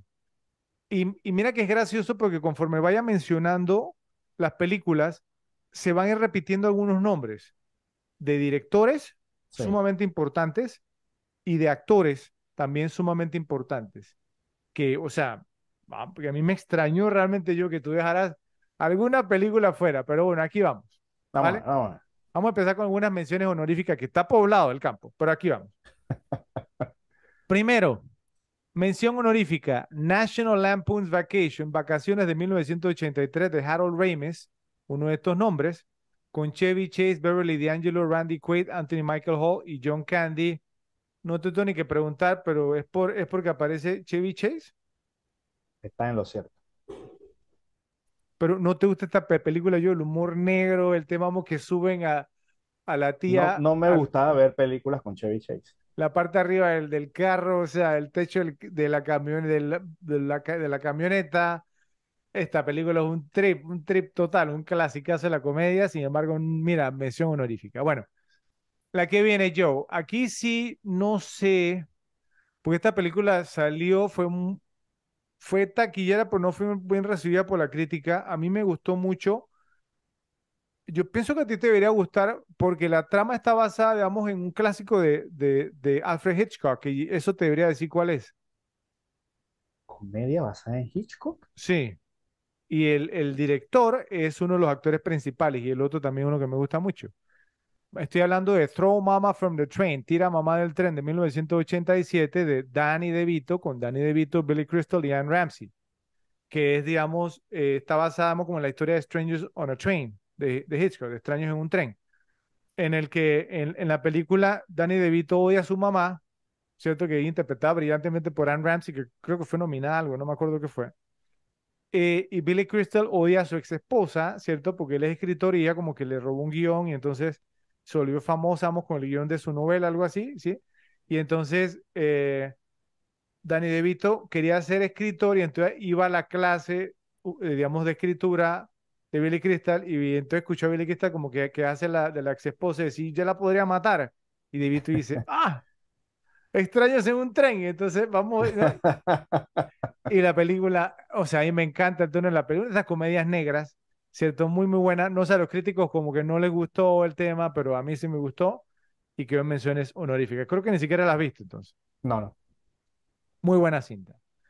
Esta otra, eh, yo, yo, yo sé que a ti te gusta este comediante, ¿cierto? Esta fue una de sus comedias, digamos, más graciosas. Easy Money, Dinero Fácil de 1983 de James Signorelli con Rodney Dangerfield, Joe Pesci, Joe, y Jennifer Jason Leigh. No me digas que tú no has visto Dinero Fácil, Easy Money. ¿No la has visto? Oh, sí, la he visto, pero pocas veces. Ese es el eh, tema. Como otras que están más adelante, que las debes tener, estoy seguro, porque eh, me la he visto. Rodney Dangerfield, digamos No, que- que su hija se va a casar, digamos, entonces pues con un, un tipo que a él no, no le agrada, un maleantón, eh, y que entonces que, que, que él, que él- creo que era la suegra, ¿cierto? Que eh, la, la, la mamá de la esposa que, que tenía dinero y que entonces que no gustaba de él y que le dijo que para, obviamente, para que ellos pudieran aspirar a heredar la plata que él tenía que dejar de, de beber, de fumar, de apostar, ¿cierto?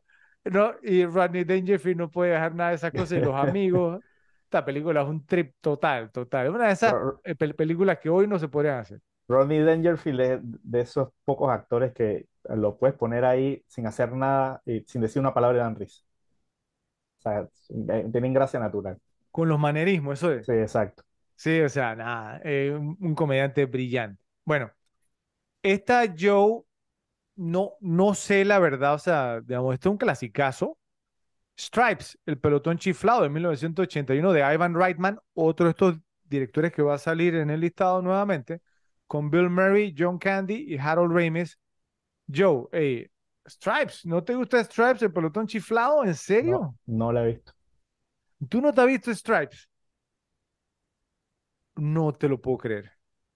Wow. Wow. No, eh, no sé, pero algunos de los actores te caen mal. Bill Murray es un gran actor. No, Bill Murray no es que me cae mal, pero no es alguien que me mate para ver su película. O sea, si sale una película de repente, si sale una película de un director que me gusta o una película, no entiendes, esas cosas así, me las veo cool. Pero no es que una película con Bill Murray me las voy a ver todas. No. Ok, bueno. Mención honorífica, bueno, mencionada por ti, Joe, Ferris Bueller's Day Off, un experto en diversión de 1986 de John Hughes con Matthew Broderick, Alan Rock, Mia Sara y Jeffrey Jones. Eh, pues digo, ¿no? O sea, lo que he mencionado yo, una pe- película, un, un clásico, ¿cierto? Eh, la, esa sí tiene una rotación tremenda. Sí. Eh, y obviamente, pues no, por eh, la- las películas, digamos, de John Hughes, él era un tipo de Chicago, ¿cierto? Entonces, usualmente él, o sea, ¿no? El setting, digamos, la locación, Ujú. digamos, de su pe- película era en Chicago. La pasaba mucho en WGN, un ejemplo, si este tipo de canales así. Eh, pero, o sea, ¿no? La, la- la película es muy graciosa, pero vuelvo y digo, cada vez que la veo, Ferris, digamos, entonces no me termina de caer bien. Yo, yo, Entonces, no yo tengo una teoría, yo tengo una teoría. Yo pienso que en la vida real debió ser como tu 6 7 pero no la quisiste meter porque te cae mal, entonces la mandaste a menciones honoríficas. Pero en cuanto a repeticiones, pienso que debe estar más alta que menciones honoríficas. Cuando veas mi listado vas a ver que no, vas a ver que Ok, no, porque creo que mencionábamos algunas de las otras, pero bueno, ahí salieron otras por, por ahí también. Bueno, mención honorífica, mira que pensé que tú le ibas a, a mencionar también Weekend at Bernie's, un muerto, pero de risa, 1989 Oh, de Ted esa Kotcheff. fue. Ted Kotcheff es el director de First Blood, yo, y mira que yo no sabía que había dirigido Weekend at Bernie's, un muerto, pero, esa se me fue. Con Por, Andrew McCarthy, supuesto Jonathan. Silverman, Catherine Mary Stewart y Oh, Terry Kaiser que hace el papel de Bernie. ¿Qué pasó yo? eh, se me fue totalmente. Es- es- es- es una- eh, y esas eh, también era otra que la pasaban de vicio. La Muchísimo, era muy muchísimo popular. televisión. ¿En qué posición más o menos hubiera estado en tu ranking? Uy, déjame ver. Yo diría que, uf, probablemente de, de siete. Cuidado que Imagínate, hasta, cuidado que hasta de seis. imagínate, y me la dejaste fuera yo, no me puedes dejar Sí, fuera sí. Weekend at Bernie's, que de paso y por hoy está pasando en la Casa Blanca, en Estados Unidos. Sí. Hay mucho, hay, hay, hay muchos memes o memes, ¿no? Ah, De, de- ¿no? Del residente de la Casa Blanca con, con Weekend at Bernie's. terrible. Bueno, mención honorífica, yo esta película, yo, yo la mencioné anteriormente, yo sé que tú conoces al director porque es el director de Gremlins. Pero cuando te la mencioné, tú te hiciste, co- exacto, yo, yo Dante, pero cuando te la he mencionado, tú, o sea, dices que no, que no la has visto. The Burbs, SOS, Vecinos a- al Ataque, de Ah, 1989, con Tom Hanks. Bueno, Tom Hanks es otro de, de estos actores, Joe, que correcto. va a salir muchas veces en, e- en este ranking, sí, pero muchas veces. Eh, Bruce Dern, Carrie Fisher y Corey Feldman. Yo no puedo creer que tú no te has visto The Burbs, cuando The Burbs el tipo de película que a ti te encantaría. ¿Tú no te la has visto, en serio? No, no, no. O sea, Burbs es como corto de suburbs, suburbios, ¿sí? Entonces, digamos como que. Tom Hanks es un tipo aburrido que vive en los subur- suburbios, Carrie Fisher, la princesa Leia, hace el papel de su esposa, ¿sí? Y de repente, digamos, entonces, o sea, pues no, como que se mueven unos vecinos nuevos a la casa de al lado, entonces todos son todos sospechosos, ¿cierto? Entonces, o sea, que él tiene que investigarse, ¿sí? Porque obviamente hice una ponchera esta película, y el tono que le da Joe Dante es un gran director, ¿cierto? Esta pe- pe- película, o sea, es tremendo, es tremendo. La verdad, muy graciosa esta película. Fue muy taquillera en su momento, pero los críticos la destrozaron. Bueno, hey Joe, yo no puedo creer que tú no hayas mencionado en un, ra- en un ranking de películas comedias de, de los 80, Porky's de 1981 de Bob Clark, por lo menos con una, una persona con apellido Clark, un gran apellido, con Dan Monahan, Mark Harrier y Kim Cattrall. ¿Qué pasó? Tú has mencionado por Porky's en otro Sí, ranking. Joe. porque es, es lo mismo. No metí porque no metí la venganza los nerds. Es por el tema de que Ah, ya no me la vi tan, o sea, sí me las vi, obviamente. Las dos son buenas, pero no me las repetí. No me las repetí en su momento. Wow, ok. y ya me robaste, pero si te la rep- repetido, no me robé el, el my Esa está vista también, esa está vista. Bueno, ok, pero Porky es una película muy graciosa, políticamente incorrecta, todo lo que tú quieras, a mí me encanta Porky. Todavía la he visto, re- recientemente me hace reír todavía. Bueno, mención honorífica, eh, Sixteen Candles, se busca novio Joe, ¿sí? Mm, De 1984 de John Hughes, con Molly Ringwald, Anthony Michael Hall, Giri Watanabe, que es la razón por la cual no cae en comedia romántica, ah, y ah, Michael ah, ah. No, no, es comedia romántica. ¿Es comedia romántica en tu opinión? ¿Me la quitas? Total. Sí. Bueno, está bien. Por eso no la metí también. Sale entonces 16 Candles, no importa, tengo un ranking muy poblado. ¿Ok? La siguiente, Joe. Esta fue la ópera prima de este director que también aparece en mi ranking más de una vez. Y un director que hemos hablado de que su filmografía, oye, ¿cuándo vamos a hacer la primera pel- película de este director, Joe? Se, se lo merece. O sea, deberíamos visitar la filmografía de él y vas a ver, digamos, porque creo que no ha, no ha tenido fallas. Estoy hablando de Ron Howard, yo, y la película es Night Shift, Servicio de Noche de 1982 de Ron Howard, con Henry Winkler, que hacía el papel, digamos, de Fonzie en Happy Days, Días Felices, y fue el debut cinematográfico de Michael Keaton, yo que se robó toda la película, y también actuaba en la película Shelley Long, que después la vimos en Cheers, un bar muy especial, pero Michael Keaton agarra esta película, Joe, y se la traga totalmente, ¿cierto? ¿Tú no has visto Night Shift? No, no, no la he visto. O sea, la premisa es la siguiente, ¿ok?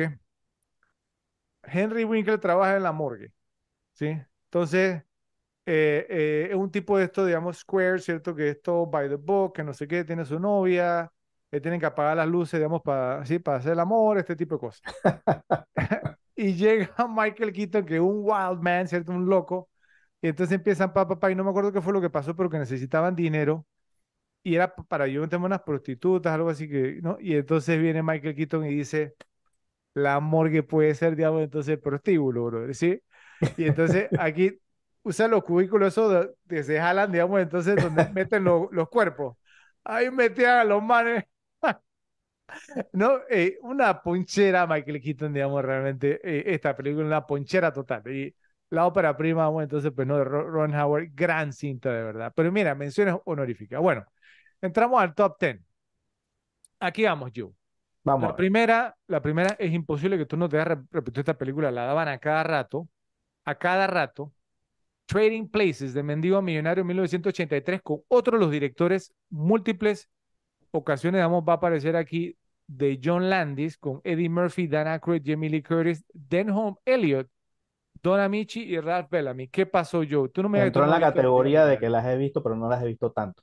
Pero la tenía en la lista cuando la hice, pero no la metí porque por cantidad de visualizaciones. y la van a cada rato, yo. Una película sumamente popular. Pero no me la videaba tanto. No, a mí esta película me encanta. O sea, es un, o sea, y tú sabes que Eddie Murphy, one of my guys, ¿cierto? En los 80. La película es súper graciosa. Tremendo. O, sea, la racha de Eddie Murphy en los 80 fue, o sea, prácticamente impecable, brother. O sea, bueno, ¿qué vamos a hacer? Eh, y esta está empate yo con otra Ron Howard. Yo no sé si tú te has visto esta, esta película, pero esta película, no sé, la primera vez que yo la vi, mira que no fue en sitio de taquilla, fue bien recibida por la crítica. Para mí siempre me gustó, siempre me hizo reír, siempre me gustó. Tiene una canción que me gusta también la, la película y la, la, película se llama Gung Ho, eh, de 1986 de Ron Howard con Michael Keaton, Michael Keaton otro de My Guys, ¿cierto? Gidi Watanabe, mira este también otro nombre que aparece bastante en las comedias ochenteras. George Wendt, el de Cheers, Mimi Rogers, la ex esposa de Tom Cruise y John Tuturro. Joe, Gong Ho, ¿tú no la has visto? No. Que esta película, vamos, entonces es un pueblo pequeño, digamos, en Pensilvania, donde construyen carros y entonces Michael Keaton, digamos, pues trabaja en la planta, ¿cierto? y los demás también. Y entonces la planta está que cierra, que no sé qué, entonces manda a Michael Keaton a Japón para, digamos, si los japoneses invierten en la planta, ¿cierto? Y entonces ahí em, empieza, entonces los japoneses llegan y entonces hay un tema del choque cultural, ¿cierto? Y Michael Keaton está en medio de todo eso con Giri Watanabe, que era como el jefe de los japoneses. Y nada más las escenas entre Giri Watanabe y Michael Keaton, yo esta película es, para mí es, es sumamente especial, ¿cierto? Pero no sé por qué no pegó, la gente no estaba lista para este tipo de comedia, pero a mí me encanta esta película. Bueno, la número nueve, yo, mira que cuando, estaba haciendo el listado, yo no sabía que esta película era de ellos. Esta la película, otra película ochentera del trío Sass, Sucker, Abraham Sucker, yo no sabía y siempre me gustó. Y me, me, vine a enterar haciendo el ranking que era de ellos. Y me la he visto un montón de veces, incluso fue antes de dónde está el policía. No sé si tú la habrás visto en inglés se, se, se, llama Ruthless People. Por fin me la quité de encima de 1986 de Jim Abrahams, David Zucker y Jerry Zucker con Danny DeVito, otro de los nombres que aparecen múltiples veces en mi ranking, Bette Midler, George Reinhold y Helen Slater, Joe. Esta película que es que George Reinhold y Helen Slater entonces secuestran a Bette Midler, que era la esposa de Danny DeVito. De DeVito estaba planeando matarla ¿cierto? Porque ya no la soportaba y tenía a su amante. Entonces, cuando la secuestran, Devito empezó a decir que yes, yes, ¿no? Y entonces George Reinhold, que era, el de el de picardías estudiantiles y, y, ¿no? y un, detective suelto en Hollywood, llama a Danny DeVito y le dice, tenemos a tu esposa. Eh, digamos, entonces, o sea, pues no, si no nos mandas, no sé cómo acuerdo cuánto era, un millón de dólares o lo que sea, ¿no? Entonces la vamos a matar. Y entonces, y DeVito llega y dice, ah, ok, está bien, siéntate a esperar. Y entonces, de- después como, no, tienes 48 horas, después lo, lo llama como a los tres días y dice, ¿qué pasó con la plata? Y, De Vito le dice, ya está muerta. Y dice, no, y dice, "Entonces, ¿qué, qué tipo de secuestrador eres tú, brother? No, o sea, amenazas y no cumples. No, Pero, pero, pero, pero tú dices que es, si- es similar o diferente el estilo. no, eh, no, no, es, es- es totalmente distinto. Es una comedia como más normal, si me va a entender, pero es una gran comedia. Yo, Danny DeVito la bota en esta pe- película, Bette Miller la bota en esta cinta también, por- porque es que DeVito, digamos, o sea, pues no, él odia a su esposa, si me va a entender, y entonces, y tú te imaginas, o sea, porque él la planeaba matar, Sí. ¿sí? Eh, y entonces la secuestran, ¿no? Y entonces George Le hicieron Reinhardt el favor. y Helen Slater como dijo, "Oye, ¿sabes qué? Yo creo que este tipo no quiere que su esposa regrese. Pero bueno, y, y, el, y el tema es que Josh Reinhold y Helen Slater hacen papel como que eran buenas personas, ¿sí?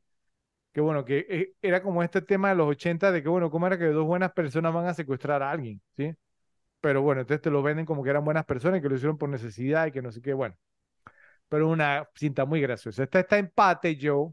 Mira que esta pe- película creo que es primera vez que la menciono, o creo que la había men- mencionado en un ranking anterior. The Secret of My Success, El secreto de mi éxito en 1987 de Herbert Ross, con Michael J. Fox, Helen Slater, otro nombre que vuelve a salir, y Richard Jordan. Esta pel- pel- película la berreaba mucho yo, o sea, la dieron muchísimo por cable. No me que tú no te repetiste The Secret of My Success. Repetir. Michael no, J. Fox haber venía, visto. digamos, o sea, pues, ¿no? De hacer Volver al Futuro. Era un actor, digamos, pues, que nos, nos agradaba. Ok, ¿No te a- la viste? aquí viene un reclamo. Porque aquí dice comedy romance. Me la vas a quitar entonces. No sé, eso es lo, es lo- es lo que dicen, ¿no? Y, esa- y esas eran las reglas. Bueno, entonces quítamela, pues está bien. Entonces, en esta queda solamente Ruthless People y me quitaste el secreto de mi ex. Está bien, no hay problema. Por eso es que tengo el, el listado poblado. Seguimos. La número 8, esta la mencioné en un listado anterior, Joe, tú me dijiste que la habías visto, me dijiste incluso que te había gustado. Yo no sabía que era el director, que un director, uno de mis favoritos también. Estoy hablando de Brewster's Millions, el gastadólares de 1985 de Walter Hill, con Richard Pryor, John Candy, otro nombre que vuelve a salir múltiples veces, y Stephen Collins. La historia, digamos, de Richard Pryor que hereda, ¿cierto? Eh, millones de dólares, pero tiene que gastar 30 millones, digamos, entonces en, en 30 días ¿sí? siguiendo unas reglas para poder heredar 300 millones, o si no, puede, digamos, entonces no hacerlo y quedarse con un millón de dólares. Y la película es un trip total. Y tú me dijiste que te gustaba, Sí. ¿qué pasó? No, pero no para entrar. Ok, una gran cinta, la, la verdad. Sí, si no la han visto, vean. La película me encanta. Esta está empate, yo, esta que viene, sí te la reclamo, porque sí la han puesto, digamos, en múltiples rankings. Creo que a lo mejor me vas a salir con algo, no sé.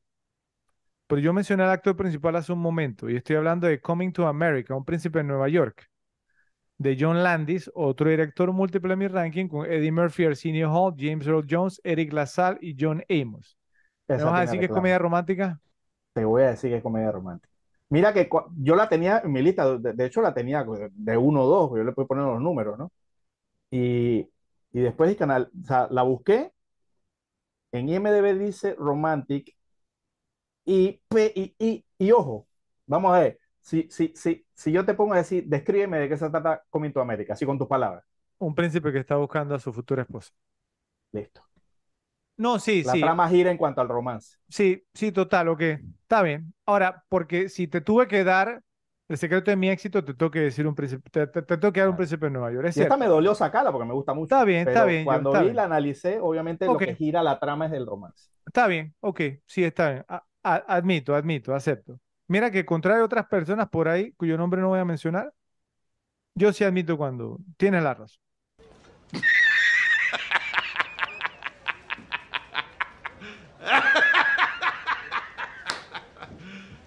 You serious? La número 7, Joe, esta la mencionó también en múltiples rankings yo no sé, tú, yo creo que tú no has visto esta película o no te gusta, no sé, The Last American Virgin, la última virgen americana de 1982 de Boaz Davidson con Lawrence Monoson, Diane Franklin, que fue una de las finalistas, o la finalista para el papel, digamos, de Stancy en Amadeus, y Steve Antin. ¿Qué pasó? ¿Te has visto esta cinta, No me acuerdo haberla visto, no me acuerdo. Es un trip total esta película. Y te voy a decir una cosa, Joe, tiene tremendo soundtrack. La banda sonora de esta película tiene The Cars, varias canciones, digamos, de The Cars, una gran banda ochentera. Tiene REO Speedwagon, tiene el, eh, Lionel Richie, tiene una gran banda sonora. Yo no sé cómo diablo la, la película porque, o sea, era una de estas comedias sexuales y de adolescentes, digamos, que el que quiere perder la, eh, la virginidad de estas cosas, pero o sea, la, la, película tiene un twist también al final que después la copiaron, no me acuerdo si esta fue una copia de una original, por, porque la trama, digamos, es que un muchacho, digamos, entonces, pues no, que quiere perder su virginidad, tiene sus dos mejores amigos, hacen travesuras, salen con muchachas, pero no puede, perder su, su, virginidad. Llega una estudiante nueva al colegio, entonces se enamora de ella, y su mejor amigo, que era como el killer, ¿cierto? Con, la, con, la, con las guiales, con, la, con las chicas, entonces ella se enamora de su amigo y él queda pagando. Pues no, mejor, no quiero contar toda la trama. Pero había otra película que se llamaba como algo como, como Lemon Popsicle, como paleta de limón, algo así. Y había otra película como italiana que tenía como la misma trama. ¿sí? Entonces era un tema raro, pero esta fue la mejor, en mi opinión. Y este empate prepara la, la boca, yo vela virando desde ya si quieres, porque cada vez que menciono esta película me, me, vira la boca. ya sé cuál es, ya sé cuál es. A ver, ¿cuál? Cocodrilo Dundee. Crocodile Dundee, Cocodrilo Dundee, 1986, de Peter Feynman con Paul Hogan, Linda Kozlowski Mark Blum. que yo no puedo creer que a ti no te guste Cocodrilo Dundee. Creo que tú eres la primera persona en la historia que. Yo no, yo no he dicho que no me guste, pero una película que la vi de chico, la vi en el cine, pero me gustó de chico y hasta ahí llegó. Me gustó de chico y no trascendió más de eso, ¿entiendes? O sea, no, ah, mira, mira, es una yo, gran película. Yo, yo la he visto recientemente y la película incluso envejeció bien, ¿cierto? O sea, Paul Hogan, digamos, pues no, la, la rompe totalmente. O sea, y él es gracioso porque mira que in, incluso vi como el. el el review de, de Siskel and Ebert, ¿cierto? Y, y uh, ¿sabes qué dijo Siskel? Que él no veía química entre Linda Kozlowski y Paul Hogan y, y se casaron en la vida real, bro. Estaba perdido ese man. Bueno, eh, la número 6, yo, otro empate. Mencionada por ti, Revenge of the Nerds, La venganza de los nerds de 1984 de Jeff Canoe, con Robert Carradine, Anthony Edwards y Timothy Busfield un clasicazo. Hoy por hoy de una película, eh, o sea, pues no, que la quieren borrar, ¿cierto? Porque no sé qué, que tiene unas escenas contro, con, controvertidas, que papá. Pa, pa. Bueno, entonces tú dices que casi la metes, ¿por qué la sacaste al final? Eh, porque es que no, no me la he visto más que, que casi todas las otras seguro que no la sacaste porque te estás dejando llevar por el, por el woke map, o sea, los woke te están, te están controlando. Yo sobre todo, sí. ¿No? ¿Seguro? Sobre todo yo. Ok, bueno. Porque sí, e, esta tuvo segunda y tercera parte, pero no, la mm. primera es la mejor, lejos. Las otras, sí. para mí, digamos que casi que ni existen. Bueno, este está empate con una que también te la tengo que reclamar yo, Fast Times at Richmond High, Picardías Estudiantiles de 1982, de Amy Heckerling con Sean Penn, Jennifer Jason Lee, Josh Reinhold y Phoebe Cates. ¿Qué no pasó? Yo varias veces no, yo mencioné. No la, no, la met, no la metí porque aparece comedy drama. ¿Drama? Sí. ¿Y cuál es el drama? ¿Lo del aborto? Y bueno, búscala, así aparece. O sea, pero, pero, pero si tú ves Fast Times at Richmond High, ¿te parece que es un drama? No, no es un tema que me parezca, es que es un tema de que si lo dice, porque yo estoy pensando, si, si yo la pongo, Fred me lo busca y dice, aquí dice drama, entonces no, me la, no, no te la voy a pasar, ¿entiendes? Bueno, e, esta sí la, la, disputo, pero bueno, vamos a dejarlo ahí, que los repes nos digan digamos, si consideran que es una comedia-comedia, ¿cierto? O si es comedia-drama. Lo único que tiene de dramático es la parte, digamos, del aborto, ¿cierto? Que es un tema que dura cinco minutos, una cosa así, no sé, pero aparte de eso, no le damos nada de drama, la verdad. Bueno, eh, la número 5, Joe. Esta la he mencionado anteriormente. A ti no te gusta para nada, o por lo menos la veces que la he mencionado también me has virado la boca. lo que me extraña porque tú eres fanático de Monty Python y aquí actúan algunos actores de Monty Python. Y debió haberte gustado más A Fish Called Wanda, Los Enredos de Wanda de Charles Crichton, con John Cleese, Jamie Lee Curtis, Kevin Kline, que ganó un Oscar como mejor actor secundario, y Michael Palin, una gran cinta que envejeció supremamente bien. ¿Qué pasó con A Fish Called Wanda, Joe? Yo no me acuerdo de visto esa película, te soy honesto. Te digo una cosa, si tú la ves y si te gusta Monty Python, digamos entonces, o sea, John Cleese, entonces hace el papel, digamos, como de un abogado de defensor, ¿cierto? Obviamente, pues sí, Jimmy Lee Curtis aquí se ve muy bien en esta cinta. Y yo sé, esa película fue famosa, ¿eh? Fue muy famosa, fue nominada al Oscar como mejor película, incluso si no me equivoco, creo que sí. Entonces, Jamie Lee Curtis y Kevin Kline el papel, digamos, que, que supuestamente eran hermanos, pero no lo eran, eran amantes, y estaban en una banda, digamos, de ladrones con Michael Palin, que roban unos, unos diamantes, una cosa así, o sea, una, unas joyas eh, o un dinero, no me acuerdo qué era. Y entonces el líder de, la banda era el amante de Jamie Lee Curtis, y entonces el plan era como traicionarlos e irse, Kevin Kline y Jamie Lee Curtis. Entonces, eh, en, culpan, digamos, al líder de, la banda lo traiciona, y entonces el abogado defensor es John Cleese. Bueno, con lo que ellos no contaban era que el líder de la banda escondió los, el botín, pues, ¿no? Entonces Michael Penny hace el papel de tartamudo, Joe. Y entonces, creo que por, por, eso que la película no es políticamente correcta, ¿sí? Por el personaje de él. Y otras cosas, vamos, que hay unos perros que mueren y es comedia también, ¿cierto? Pero es muy graciosa. Esta película a mí me encanta. A ti te encantaría, Joe, en serio, a ti te encantaría. Y esta está empate con una película, yo no me acuerdo si la he mencionado anteriormente, creo que sí, Joe. Y el actor, digamos, mira que ahora quiero preguntarte algo acerca de este actor, ¿sí? The Money Pit, Hogar Dulce Hogar de 1986 de Richard Benjamin, con Tom Hanks, Shelley Long y Alexander Godunov, que era uno de los villanos de Die Hard. Joe, esta película, o sea, no que Tom Hanks y Shelley Long compran una casa, digamos, a muy bajo precio y después la casa se empieza a desmoronar. Esto es un clasicazo de la comedia, ¿cierto? La película, la, la crítica la, la, o sea, la destrozó, ¿cierto? Pero esta película es muy graciosa, la daban a cada rato. Tú tuviste que haberla visto. O sea, ¿no te gustaba la faceta de comediante de Tom Hanks en los 80? Y, la más famosa, Bachelor Party, Big, Splash. Splash. Esta no me acuerdo de haberla visto. Mira, mira, digamos, o sea, pues no por, porque de Tom Hanks ya mencioné The Burbs y ahora estoy mencionando esta, ¿cierto? Y, y, viene más, ¿ok? Pues esta es una gran cinta, o sea, a mí me hace reír muchísimo. Esta es una de las películas favoritas, una de las películas favoritas de mi familia que la veíamos en grupo incluso. Muy buena. Número cuatro.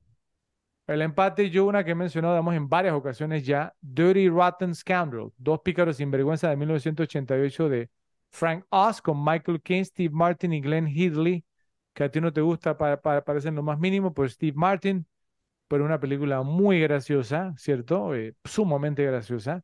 Y está empate con esta, yo que yo, yo la he mencionado, no sé si tú la has visto, pero créeme, te, te la recomiendo porque es de estas comedias que por el director, que tiene otras películas interesantes, incluida una que se llama State of Grace, Estado de Gracia, con Gary Oldman y Sean Penn y Ed Harris. Este director tiene una técnica, vamos, a pues, de, de filmación muy buena y esta película tiene unos detalles de ángulos de cámara espectaculares. Yo, a ti te va a encantar esta película. Yo la mencioné anteriormente. Three O'Clock High, cita con el peligro de 1987 de Phil Joannou, que se llama el director, con Casey Simasco, Richard Tyson, que después fue el villano, digamos, de Kindergarten Cup. Philip Baker Hall, Joe, nuestro pasero, digamos, de Boogie Nights y de Seinfeld. Y Jeffrey Tambor. Esta película, yo, o sea, técnicamente es impresionante. O sea, tú me dijiste que tú me dijiste que es como High Noon, ¿no? Exactamente. Mira, si tú ves esta película te, te va a encantar. O sea, es que el tono de la película es una comedia pura, pero está muy bien hecha el estilo. Sí, me entender, o sea, se, notaba que el director tenía talento. Y no sé qué pasó con Phil, Phil o sea, tendría que revisar su filmografía, pero muy bien hecha, muy graciosa. O sea, no, una gran cinta, de verdad. Yo me la vi muchísimas veces. A número tres, esta es otra que yo he mencionado también en varias ocasiones, me encanta. Y este actor, digamos, Richard Dreyfuss, eh, uno de mis favoritos también en, esta, en esta etapa, De 1989, Let It Ride, Un Día de Suerte, de Joe Pitka con Richard Dreyfuss, obviamente Terry Garr, David Johansen y Jennifer Tilly, yo la mencioné anteriormente. Richard Dreyfuss el papel de un conductor de taxi que obtiene un dato, digamos, de qué caballo, digamos, va a hacer trampa para ganar una carrera y se va todo el día al hipódromo y tiene el mejor día de su vida y ver a Richard Dreyfuss haciendo este papel con David Johansen, que era uno, era como el que conducía el taxi en la comedia Scrooge eh, de, Bill Murray, y que también tenía como su banda, ¿cierto? Eh, eh, en una banda de Pussycat 2 o algo así, no me acuerdo. ah, no me acuerdo cómo se llamaba la banda, pero después tuvo su etapa, vamos, de Buster Point Dexter, ¿sí? Que hizo una canción de Hit the Road Jack, que era, digamos, de, de Ray, Ray Charles, y sacó otra de Hot, Hot, Hot pero esta película es un trip total y yo la recomiendo altamente. Está empate con Top Secret, Super Secreto de 1984 de Jimmy Abrams, David Zucker y Jerry Zucker con Val Kilmer y Omar Sharif, que va a ser un episodio aquí en la repetible. Top Secret tiene que ser un episodio aquí en la repetible. Una gran cinta, una gran, gran cinta. La número dos. Bueno, las cuatro que quedan yo, yo las menciono en varias ocasiones. A ver si le pegas. Quedan cuatro. A ver Una debe ser, una debe ser Airplane. Ok, sí. Eh, otra puede ser, estaba pensando en una de esas que son dudosas. Que he repetido en varias ocasiones. Bueno, aquí va, aquí va. No sé, dispara, dispara. Empata en la número 2, Bachelor Party, despedida soltero en 1984 de Neil Israel, con Tom Hanks, Tony Keaton y Adrian Zemed. Esta película es un trip total. Yo no sé qué. mira, Tom Hanks, ahora que lo que te quería mencionar de Tom Hanks era porque yo lo asociamos con Jonah Hill, ¿cierto? Que es un gran actor de comedia, ¿cierto? Que hizo grandes comedias de mis comedias favoritas de todos los tiempos. Pasó a ser actor serio, después no regresó a la comedia o casi no regresó. Y también me gustó su faceta como actor serio, ¿sí? Y ha hecho grandes películas como actor serio yo te iba a preguntar cuál de las dos facetas te gusta más. Porque es que yo revisitando su filmografía inicial, yo creo que me quedaría con la faceta de comedia porque realmente era muy gracioso. Claro, claro, obviamente, si hablamos de Saving Private Ryan, si hablamos de Castaway, si hablamos... Forrest. Forrest Gump, que pues, pues por ahí uno, algunos eh, dirán que también es comedia, pero no lo sé yo. Pero tú te, tú te has visto Bachelor Party, no te gusta, ¿verdad? Sí, sí sí me la he visto, pero no te digo que me mate. O sea, es una película normal, graciosa, Ok, pero, de pero no es que una película que me voy a ver mil veces. ok. Este está empate con otra que mencionó yo varias veces. Te voy a dar un par de, de- datos yo. Es de 1983 y actúa, creo que alguien que le, que le llamamos o le hemos dicho que es la última superestrella o el, o la última estrella de cine Risky Business. que nos queda, Risky Business, de 1983, de Paul Brickman con Tom Cruise, Rebecca de Mornay y Joey Pants, Joe Pantoliano. Esta película, ¿a ti no te gusta Joe? Mismo tema, o sea, cuando la busqué, eh, sale comedy, drama, romance. Pero es que es una comedia pura, Joe. Romance, no. No la metí porque tenía demasiadas subcategorías y dije, esta me la van a hacer, no me van a dar molir. Oh, entonces, ¿me vas a dar Mulligan o no? Y no sé, o sea, si te digo todas esas categorías, que, subcategorías que tiene. Pues que es una comedia, yo, o sea, eh, o sea, ¿cuál, es el drama? ¿Cuál es el drama en Risky Business? Negocio riesgoso, ¿cuál es el drama? Dime tú. ¿No? Bueno, vamos a hacerlo a los repes que decían ustedes. Exacto. Y número uno, Joe. Dos. La primera, Planes, Trains and Automobiles, que yo sé que no te gusta. Nada en común de 1987 de John Hughes. Nuevamente aparece con Steve Martin y John Candy. Una gran cinta, Dios mío, esta cinta es un clasicazo. ¿Qué me vas a decir? Que, es lo mismo que aparece comedy y drama. drama porque, porque al final, digamos, te tocan el corazón. No, no, la metí por eso. Bueno, y los RP decían.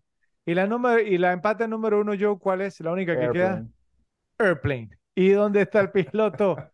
de 1980 del, del trío de Sass, Jim Abrams, David Zucker y Jerry Zucker con Robert Hayes, Julie Haggerty, Leslie Nielsen, Robert Stack, Louis Bridges y Peter Grace. Esta película era imposible no repetírtela, y, esa película es una tras otra. es una tras otra. Es No como, ¿y dónde, ¿y dónde está el policía? Entonces, bueno, eh, no, eh, no sé, ¿alguna, algún comentario sobre mi ranking? ¿Yo algún reclamo? No sé. No, no, reclamo no es eso. O sea, simplemente que hay películas que tú mencionaste que yo dejé por fuera porque veía, ¿no? Que tenían eso como categoría y dije, no la voy a meter para que no, porque Ok. será, como era la, ¿no? Te puede- o sea, si dice drama, si dice romance, Pero fueron como tres yendo, nada más que dijiste, estamos ¿sí? yendo en contra de... Fueron como tres nada más que tú mencionaste eso. Sí, sí, sí, solo. Sí, ok. Pero, pero después de ver el ranking y las que sacamos incluidas si quieres, ¿no fueron los 80 la mejor época de comedias en la Sí, o sea, yo lo que pienso que los 80 fue débil, digamos, en... o sea, es que estás en un sándwich de las dos mejores décadas de la historia del cine, ¿entiendes? Entonces, si no sacas algo similar, pe- pero, pero me refiero que lo, lo, lo, lo que carece los 80 es de películas icónicas de, digamos, de, Dramas y esto, sí. de, de, de dramas y otro tema, y de- o digamos, de gran reputación como grandes películas de la historia del cine en cuanto a calidad.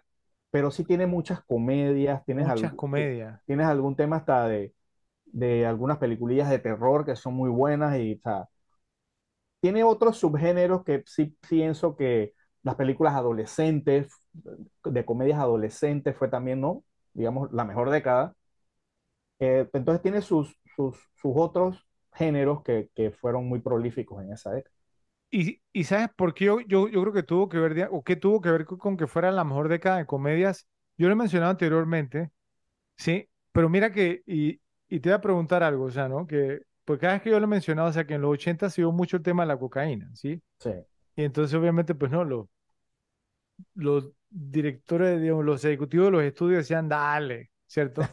Dale. Entonces aprobaron muchas comedias, porque hay comedias, así como hay muchas buenas, hay malísimas también. sí, cierto. Y comedias que uno se sienta a verlo y dice, ¿quién diablos aprobó esto? ¿Sí? O sea, ¿quién diablos autorizó un presupuesto para que hicieran esta porquería? ¿Sí? Pero, y yo, yo noto que cada vez que yo menciono eso, Ralphie po- hace como una cara. ¿Tú, tú lo has notado o no? No sé. ¿Por qué hará la cara? Yo no lo sé, la verdad. Como que no le gusta que yo mencione eso. Pero bueno, eh, yo espero, vamos entonces, pues, Sano, que los repes nos digan eh, si las películas que yo incluí eran comedias puras o no, en, en su opinión, obviamente, y que nos digan cuál de los dos rankings les gustó más.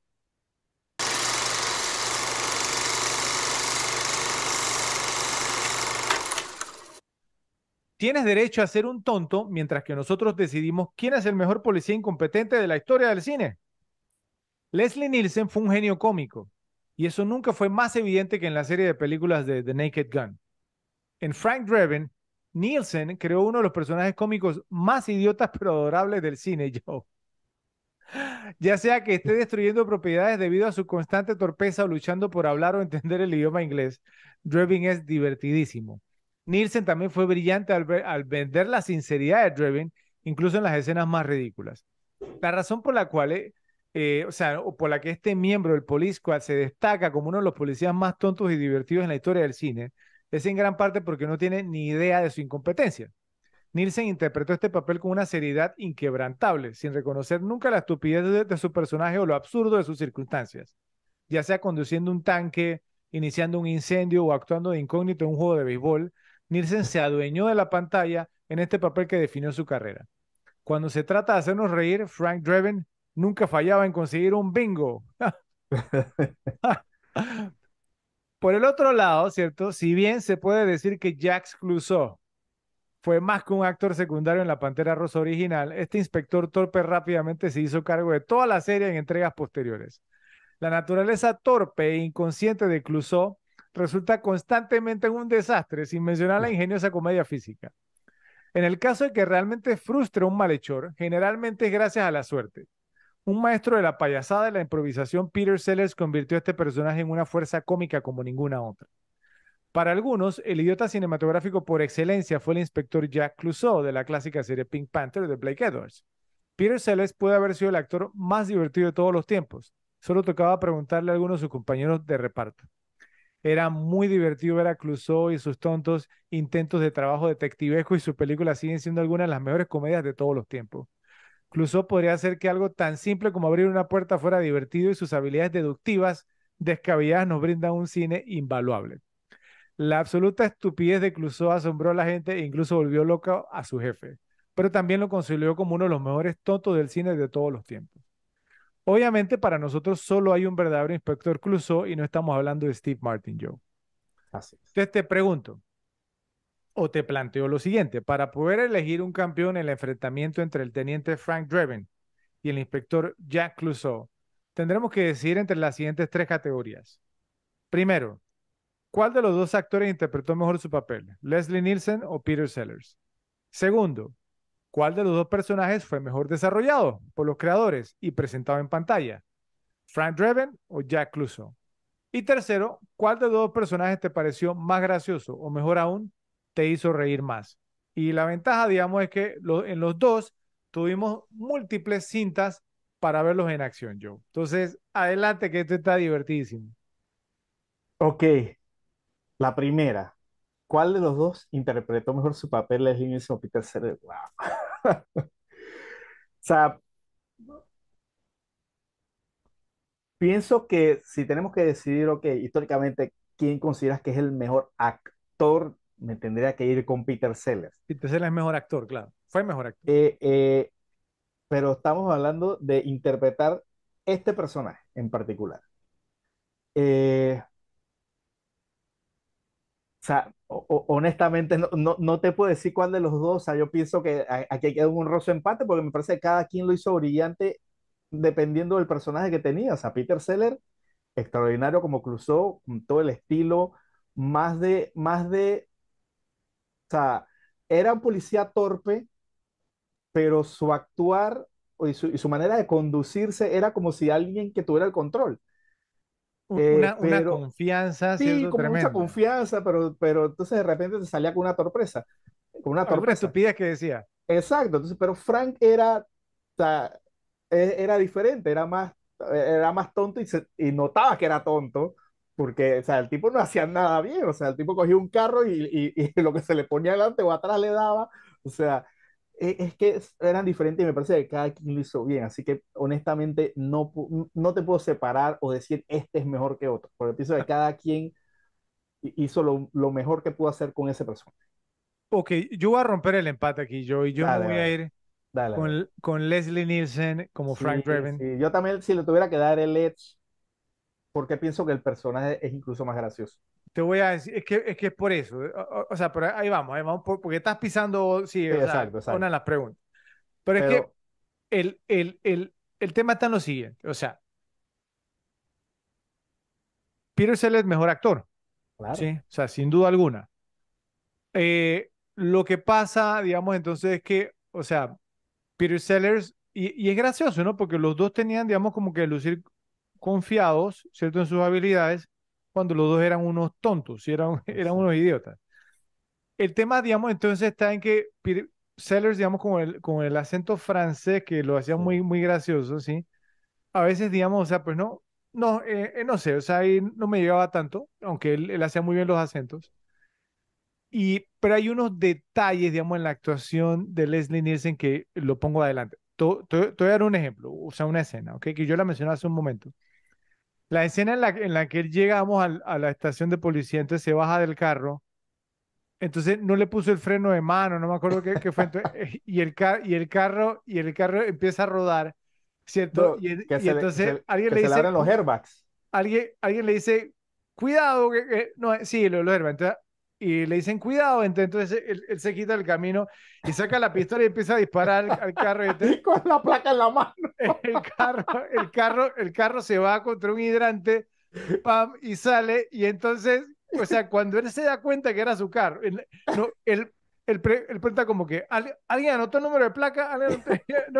Y de repente cuando, cuando el carro dobla, él se da cuenta que es su carro. La cara que él pone en ese momento ahí es donde él gana. ¿Sí me voy a entender? Porque es como que él se da cuenta de lo bruto que es. entonces, para mí, son momentos como esos los que ponen, digamos, entonces al, a Leslie Nielsen, o sea, el personaje, digamos, entonces, pues no Claro. como un mejor personaje. Claro. Sí, es a eso me refiero. Y la interpretación, digamos, de Leslie Nielsen como Frank Drebin Sí, es mejor, en mi opinión, que la de Peter Sellers como Jack Clouseau. No es mejor actor, pero lo interpreta mejor. ¿Sí? exacto. Ok. Ok, Por, por lo menos la segunda parte, esta, si, si, si hay, digamos, una, si, si hubiéramos necesitado un tiebreaker, creo que esta es la, la indicada, porque el desarrollo de Frank Drebin es mucho mayor que el de, que el de, que el de Jack Clouseau. O sea, Jack Clouseau siempre te lo presentan, ¿no? Porque es un tipo, que es un detective, o sea, nunca te dan como un backstory. Creo que lo que más te dan, aparte del trabajo detectivesco de, de, de, de, de, de Clouseau, pues es que tiene un asiático loco en su casa que cuando llega se tiene que pelear con él. Eso es, ah, Eso es lo que te y iba a decir. Nu- nunca ah, explican quién nunca es y explican- por qué. Es nunca un explican por qué ¿no? Cato está ahí siempre esperando emboscarlo y se Es no, un no, sirviente, me imagino, ¿cierto? Uno no sabe Pero, quién es. pero nunca te explican el tema de por qué se pelean o por qué no sé, Y, no sé. y- o y sea, destrozan la casa, bro. es- pero es muy gracioso siempre que sale No, es Cato, súper es- gracioso, es claro. súper gracioso. Eh, eh, Frank no, Frank desde el minuto uno te comienzan a dar pues detalles de su vida, o sea, de manera graciosa, pero son detalles. O sea, todo el tema de que, no, que ya como preguntando, me imagino que es la ex esposa o la ex novia o lo que sea, que le dicen, no, que se, te- se, se, se fue con un gimnasta ahora, que no sé qué. O sea, todo- o sea, te están dando ya El detalles mejor del sexo de su vida. te están dando ya de- te están dando ya detalles de la vida de Frank y el mismo Frank en sus en muchos diálogos dice yo he sido eh, ya yo he sido herido que no sé qué to- todo ese tema o sea, se dice más de lo que lo que él ha pasado por su vida por lo menos sentimental Sí, Eh, eh, o sea, pienso que mucho más desarrollado está Frank no sé si estás de acuerdo totalmente de acuerdo, totalmente de acuerdo. sí el Ok. desarrollo de Frank digamos en, en eso entonces digo ya tenemos las dos primeras entonces la otra pues Sí, sí, o obviamente sea, o sea, ya que quede claro que, que ganó Frank Drebin, eh, ganó ¿cierto? Frank Drebin Pero bueno. Más gracioso, es que también, o sea, es que los dos son graciosos, los dos me hacen reír, pero pienso que más me hace reír Frank. Pienso que, o sea, y, y a mí incluso me mata, y me mata la risa, Sí, sí. pero, pero, pero es que Frank, es, es, o sea, es que la comedia está, aunque todos tienen sus partes comídicas, eh, eh, es que las de Frank son, son demasiado brutales, las de, también las de Clouseau, es que ese es el tema. O sea, en, en- es que en este también, este, este, yo la tengo un poquito como la primera, es que me cuesta decidirme. Diría que Frank me, me- me saca más risas, pero es que incluso también saca a lo mejor a menos nivel o, a o men- menor cantidad por, volvemos al tema por el estilo de, de Abraham Zucker, que es más de, como, como decimos aquí en Panamá, de tiro y tiro. O sea, te una, otra, otra, otra. Y las Clouseau no. Las Clouseau de repente tienen un, un poquito de diálogo, un desarrollo, y de repente, ¡boom!, te sale con una. Es un poquito más pausada, pero es muy graciosa también. Pero pienso que más me hace reír Frank, digamos, por, por acumulación, por cantidad. Sí, yo, yo, yo concuerdo contigo, vamos, a, a mí Frank Drebin, o sea, Leslie Nielsen como Frank Drebin me hizo reír muchísimo más que Peter Sellers como Jack Clouseau. Yo sé que obviamente pues que hay, o sea, Jack Clouseau tiene un personaje muy querido, Sí. ¿sí? Y, y Y que tiene, y que tiene mu- muchos fanáticos. Y que a lo mejor, digamos, hay- habrá personas que no, no escuchan y dirán, oye, pues estos están locos, ¿no? Pero es un tema personal, digamos, Sí. o sea, pues yo prefiero a Frank Drebin, me hace re- reír más. Pero, pero al decir esto no estoy, digamos, menospreciando el trabajo de Peter Sellers, ni estoy menospreciando el personaje de Jack genial. Simplemente que, que, que pienso que las películas, digamos, de Blake Edwards, de La Pantera Rosa, cier- cierto, pienso esa, pues, ¿no? Que desde el punto de vista en cuanto a comedia, no le dieron tantos momentos a Peter Sellers, Mm. ¿Sí? Para que él mostrara, digamos, su genio de, o sea, de comedia en, en esas películas, porque estamos, eh, o sea, comparando los personajes, ¿sí? Mientras que el, el trío de Sass, ¿cierto? Zucker, Abraham Zucker, o sea, Leslie Nielsen le, le dio material de sobra. Es que, voy, voy, repito, o sea, las bromas por minuto son, o sea, son un tema ah, que, que, que, o sea, eh, Leslie, Leslie Nielsen te- tenía que estar en el paraíso viendo los guiones ah, y lo que él podía hacer. Ahora, si realmente nos, nos- o sea, si, si queremos ser, ¿cómo lo, lo diría? Justos, Peter Sellers, un gran actor. sí. Era bueno, nos podríamos imaginar a Peter Sellers haciendo un papel de Frank Drebin. Sí, Sí, totalmente, total. totalmente y fácilmente.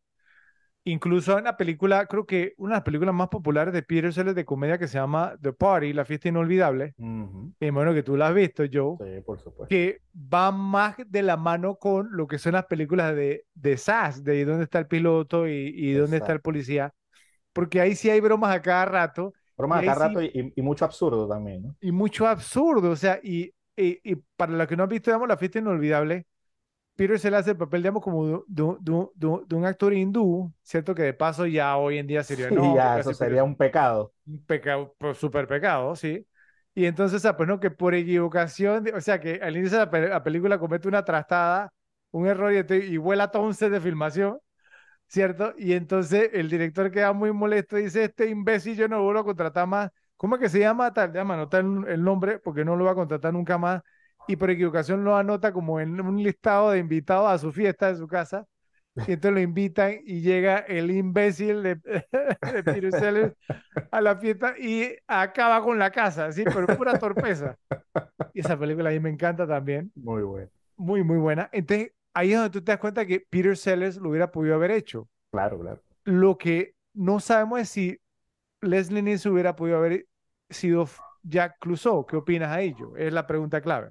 Ya si, si hablamos, si comparamos los actores, ¿no? Digamos, entonces, porque, ya comparamos los per- personajes y bueno, creo que Frank, no, no, no creo. Frank Drebin ganó. Yo pienso que sí lo hubiera podido hacer. ¿Sí? Leslie Nielsen sí crees que hubiera po- podido haber sido Jack Clouseau. Porque tenemos... Me lo, me lo imagino más al estilo, no de a- este, sino de Airplane, que era como más serio, ¿no? Sí, Era gracioso, pero era un tipo como más serio, no sé qué, que, "Ay, que no me llames Shirley, o sea, era como, no, no era tan morisquetero, ni era tan físico como en esta. sí. Entonces pienso que le pudo haber dado el- el- la onda esa de Airplane con de repente con lo físico de estas. Si te vas por ese lado, sí, mira, y mira, mira, mira que cuando, cuando intentaron, yo lo mencioné hace un momento, cuando intentaron con Steve Martin, fue un fracaso total, ¿cierto? Y eso Steve Martin era un comediante, ¿ok? Y lo único que tiene en común con Leslie Nielsen era el cabello blanco, Cabello blanco y contar. ¿sí?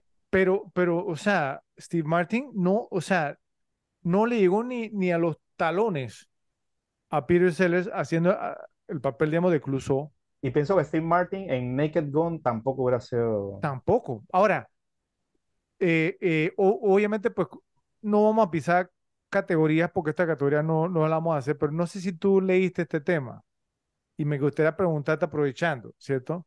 Porque por ahí, digamos, a finales del año pasado, ¿cierto? Salió, digamos, un rumor de que va a salir una nueva ver- versión de The Naked Gun, de dónde está el policía. Y adivina quién va a hacer el papel.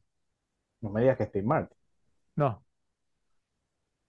No, no, o sea, es un actor serio que ha hecho películas serias en su carrera y que últimamente se metió a la acción. Eh, eh, eh, Liam Neeson. Liam Neeson. ¿Lo ves Wow. en el papel de Frank Drebin? Es que no, no he visto una comedia con Liam Neeson, así que no te puedo decir cuál es su comedic timing. Salió en, en eh, la, la del oeste, la de, ¿cómo se llama el creador de, de Ted? Salió en esa, Ah, eh, Seth MacFarlane. ¿Cómo se llama esa? Y que, pues esa película es malísima, yo no la he visto. como, como, como que al- algo de matar, Y no que me mil, mil- maneras para morir en el oeste. Una ¿no? cosa así, sí, una cosa así. Él sale ahí, sale en esa. No, no, No, la, la no, verdad es que no, recuerdo. No, es un buen crédito para meter como, como Bueno, no, pero, pero, pero es que tú dices que no lo has visto en comedia. Pues sí lo hemos visto en comedia porque hizo esa, hizo una comedia. Y bueno, no sé. Pero es raro, ¿no? ¿Cierto? O sea, digamos, pues como, como que lo busquen a él para ese papel.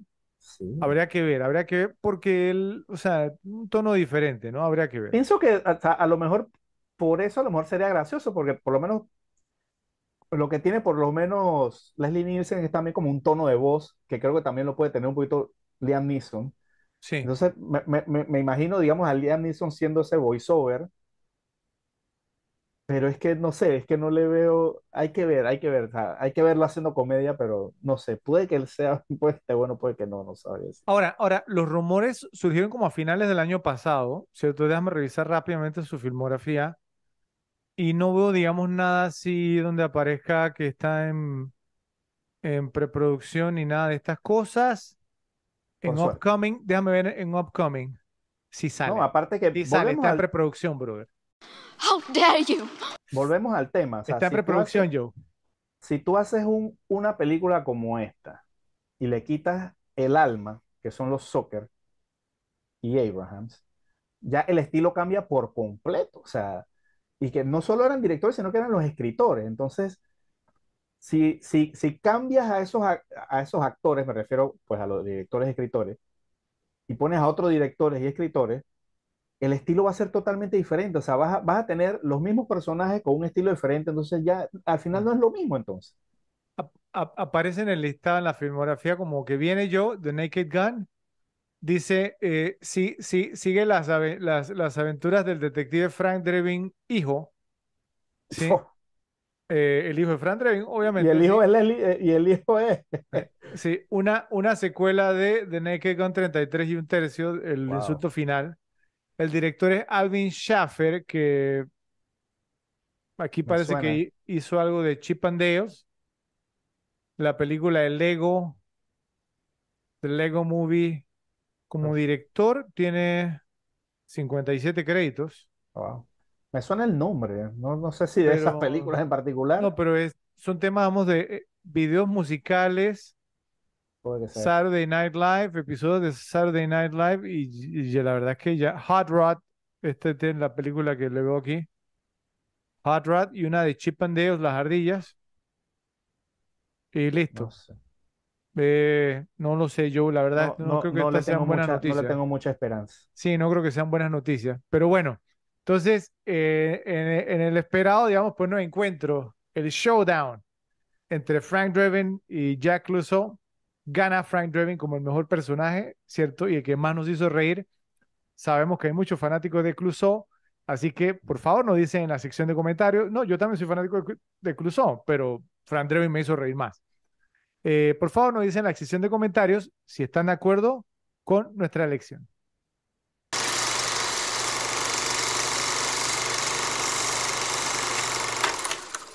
The Naked Gun llegó hacia el final de lo que había sido una época creativamente fructífera para el trío Sucker Abraham Sucker y para Leslie Nielsen.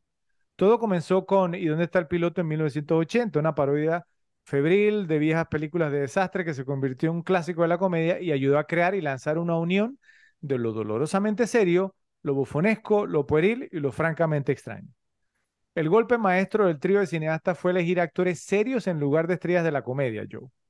Robert Stack, quien interpretó al capitán Kramer, fue más recordado por su trabajo en la serie de televisión The Untouchables, Los Intocables.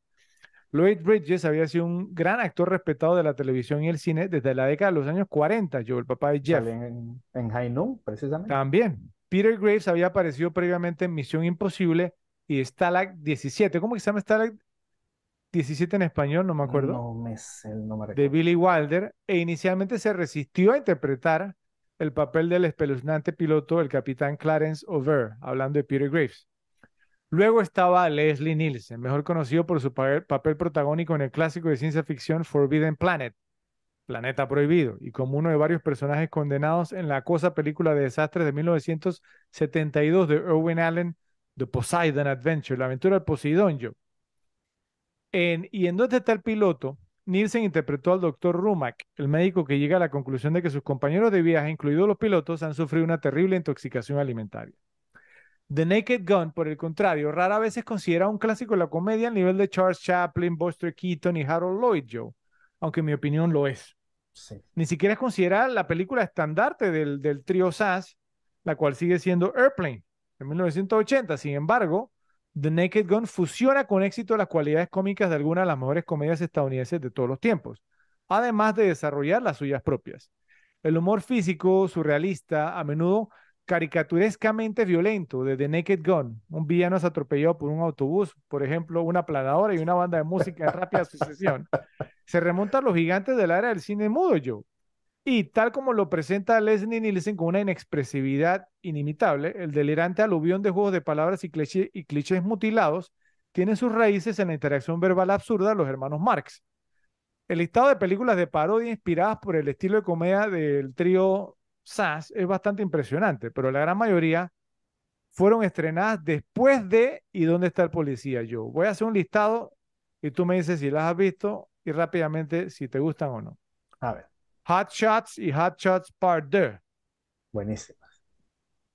Hot Fuzz y Shaun of the Dead de Edgar Wright. Muy buenas. Robin Hood Men in Tights Ese de Mel Mel Brooks. Brooks. Sí, ¿Sí total. te gusta? Me, me hizo reír, me hizo reír. Eh, sí, no es de las mejores, pero es, es- es- Salió en los 90 después de la, Sí. de la, de la película de Robin Hood de Kevin Costner y, de- y- y del Mm. otro. Austin Powers. sí, me gusta. También, también salió post. Eh, la, la serie de películas Scary Movie de los hermanos Wayans. También Esas, fue, fue me, esas me gustan, pero no me matan tanto, mira. Ok, pero también salieron después. Vienen unas ahora que no resultaron ser tan buenas, pero bueno, a lo mejor a ti te gustan. Una se llama Loaded Weapon, como arma cargada. Esa fue la burla de Lethal Weapon. De Lethal Weapon con ¿No salía Samuel Jackson? Sam- Samuel Jackson, ¿sí? Sí, sí. ¿Te gustó esa? No, esa película fue Eh, malísima. no. Esta que a mí me ofendió, tú vas a ser honesto, de lo mala que es. Meet the Spartans, ¿cierto? Que burlándose de Uf. 300, malísima esa película, Uf. pero ofensiva. Epic Movie, que digamos de las épicas, ¿cierto? Disaster Movie, que digamos es malísima. Esta fue una de las peores, Joe. The Silence of the Hams, El silencio de los jamones, Esa ni la escuché. Que se, se burló, digamos, del silencio de los inocentes. Eh, creo que estas, estas sí te gustan a ti, yo creo. La, la serie de Johnny English. No, no, no. No, tampoco. Fatal Instinct se, se, se burló, digamos, de Basic Instinct. Esa era como hermana Sante, ¿cierto? Eh, que tuvo sus momentos, pero no fue, fue muy buena. Y luego, digamos, viene esta serie, digamos, pues como de películas que también incluyeron a Leslie Nielsen, yo. No sé si tú las viste todas. Repossessed. Ahí va, aquí viene. Drácula, Dead and Loving It. ¿Te Sí. gustó o no te gustó? Eh, tiene su gracia. Es que tiene a Leslie Nielsen, entonces tiene su gracia. Spy Hard, La vi. Que se, se burla de los espías. ¿También Es te gustó? Ok. Repossessed, ahora sí. Total. A mí te gustó. Es, es que si estaba Leslie, ¿cierto? Sí, sí, sí, sí. Es que el factor Bueno. que tuviera ahí. Bueno, las próximas dos las hizo ya, pas- ya entrando ya en este siglo. Que fueron, digamos, estuvieron entre las últimas que hizo. Y aquí, vamos, entonces me voy a dar cuenta si realmente era fanático de Leslie Nielsen o no. A ver. Ah, la, la primera, 2001, A Space Travesty. No, esa sí no la vi. ¿No? 2001, una payasada en el espacio. ¿no? Esa sí no la vi. Y la otra fue Superhero Movie, donde se burlaban, digamos, de, de, de los superhéroes. Obviamente una de los superhéroes y la otra era, se burlaba de 2001, Odisea en el espacio. No, esa tampoco. Entonces, bueno, yo, entonces, digo, obviamente, ¿y dónde está el policía? Fue engendrada como película por ¿y dónde está el piloto? Al provenir del mismo equipo creativo y tener un tono similar a la película de 1980. Habiendo dicho esto, te, te pregunto, ¿cuál de las dos películas consideras que tuvo un mayor impacto e influencia en el género de slapstick comedy o comedias de payasada luego de, luego de su estreno? ¿Piensas que los respectivos años en que fueron estrenadas jugaron un rol en la importancia que cada una tuvo en la, en la cultura popular? Bueno, obviamente si te tengo que decir cuál es la, la, digamos, la que tuvo más impacto e influencia, te, tendría que irme con la original, que es Airplane. Porque de Airplane salen todas las demás. O sea, Pero no Sí. salieron después de Airplane. Es, es Sí, que esa es claro, la o sea, claro, pero es que, Mira el listado que te di que salieron después de Naked Gun. claro, claro, pero, pero, pero Naked Gun sale a raíz de Airplane. Entonces, o sea, al final te- hay que irse al origen, entonces, o sea, porque sin, sin, sin, sin esa ni siquiera existe Naked Gun. Ok. Entonces, esa, digamos que es la que o- o- originó todo, o sea, que, que haya tenido un boom después, pero obviamente es un boom ya después de varias que, que había sacado con, ese, con esa misma temática o con ese mismo ¿no? eh, estilo. Y entonces digamos que Naked, Naked Gun fue un detonante, pero ya, ya venía con una historia, o sea, ya, ya venía de, de una base. O sea, Yo no, Naked yo- Gun simplemente yo fue no la quería que que... llegáramos a esto, pero creo que vamos a tener que llegar, Joe. Y vamos a tener que, que comparar las dos. O sea, y decir cuál te gusta más. Pues, diría que me gusta más Naked Gun, pero pienso que, que, o sea, que, que no distan mucho las dos, porque las dos son muy graciosas. Lo, lo que tiene Airplane es que lo que tiene Airplane es que no tuvo, o sea, sí tuvo a Leslie Nielsen, pero no tuvo el protagonista principal, no tuvo secuelas. Bueno, sí tuvo Si secuela, tuvo una una, sí tuvo una segunda sí parte. tuvo una segunda parte, aunque no sé si es de los mismos directores, eso sí no lo sé. ya te confirmo, ya te confirmo. Eh, pero es, es que, es que el tema de la segunda parte, digamos, es, es, es un tema delicado. Mira, mira que cua- cuando hicimos el episodio de Friday Night y hablamos, digamos, pues no, de, de que la segunda parte era muy buena, que nos había gustado a los dos, te voy a ser sincero, yo, o sea, me, me quedé como con la, sí, porque, yo, yo me acordaba que había visto la segunda parte de, de, de Noche del Espanto y yo decía, pero no, o sea, yo me acordé que me había gustado, pues no me acordaba de detalles y la vi yo y uff. Not even close. No, la verdad, eh, que- creo, creo que a veces que el corazón le juega uno una, una, le pasa una mala jugada, ¿no? ¿Cierto? O le juega una mala pasada, no me acuerdo cómo que se dice, pero, pero no, no, no, no, no. O sea, entonces, déjame buscar Airplane 2. Eh, Airplane 2 y ¿Dónde está el piloto 2? La secuela. Eh, no, no tuvieron que ver, digamos, el, el trío. SAS no tuvo que ver, fue dirigida por Ken eh, Finkelman y tiene un rating de 6.1 sobre 10 y parece que fue un tema como que te fueron al espacio, no sé qué. Eso es ridículo. y- y- y volvemos, volvemos al tema, probablemente lo mismo que pase con, con el remake de ¿Dónde está el policía? Ahora, mira, el elenco, vamos, fue Robert Hayes, Julie Haggerty y Lloyd Bridges regresaron.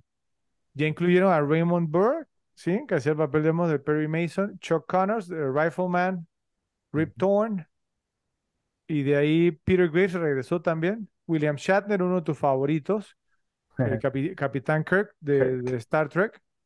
Eh, John Vernon, ¿cierto? Que pues eh, el, eh, el- el director, digamos, pues no, de, de- no, el rector del Colegio de Animales.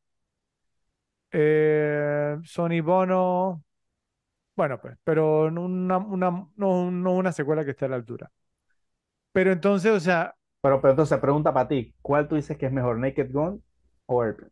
Pero, pero es que aquí es donde viene el tema, o sea, y es donde viene el problema. Porque mira esto, o sea, si, o sea, porque a, a mí me gustan las dos, me encantan. Sí, es que es, es que es muy difícil pero, pero aquí viene el punto. Entonces, de Naked Gun, a mí me gusta más la segunda. Entonces, si yo digo que Naked Gun es mejor que Airplane, entonces te estoy diciendo que la segunda Naked Gun también es mejor que Airplane. Y para mí lo es. Entonces, eso dejaría a Airplane como mi tercera favorita del trío SAS. Y ahí, digamos, entonces donde yo creo que se me vendrían encima algunos repes. Y creo que a ti también. ¿Qué opinas? O sea, es que no es fácil. A menos que pudiésemos poner. Pero entonces ahí es donde viene el tema. que, o sea, Porque, porque si ponemos Naked Gun, dos y medio, Airplane, segunda, y Naked Gun, uno, entonces estamos diciendo que Airplane es mejor que Naked Gun o que nos hizo reír más que Naked Gun. Que no es el caso pa- para mí. Pero Airplane me encanta también, me hace reír sí, mucho. sí, sí, sí, sí, o sea, Entonces es muy difícil. Y es obviamente está el tema también de que, o sea, la pregunta mía era, ¿cuál tuvo más influencia? Entonces, después que salió, ¿y dónde está el piloto? Obviamente, salió Police Squad, que fue el del mismo trío, y salió Top Secret, Super Secreto del mismo trío. Yo busqué y no hubo películas con el mismo tono entre 1980, obviamente Top Secret del 84, pero que hayan sido de otros creadores hasta 1988. A Pero, pero, tú, pero te pregunto, ¿tú piensas que para mí Naked Gun tuvo más influencia por pero su, eh, por, por su esa es tema. la pregunta, ¿tú piensas que la influencia fue por Naked Gun o fue por las tres anteriores? Me refiero a las tres, a Airplane, a Top Secret, a una combinación de las tres. Pero, pero por eso te preguntaba, digamos, o, ok, Ah, no, entonces, yo- yo digamos, no puedo ¿por, creer que tú le des únicamente el crédito a Naked Gun como que No, no, por Naked Gun. claro no. que no. Pero, pero yo creo que sí tuvo que ver con el éxito que tuvo Naked Gun.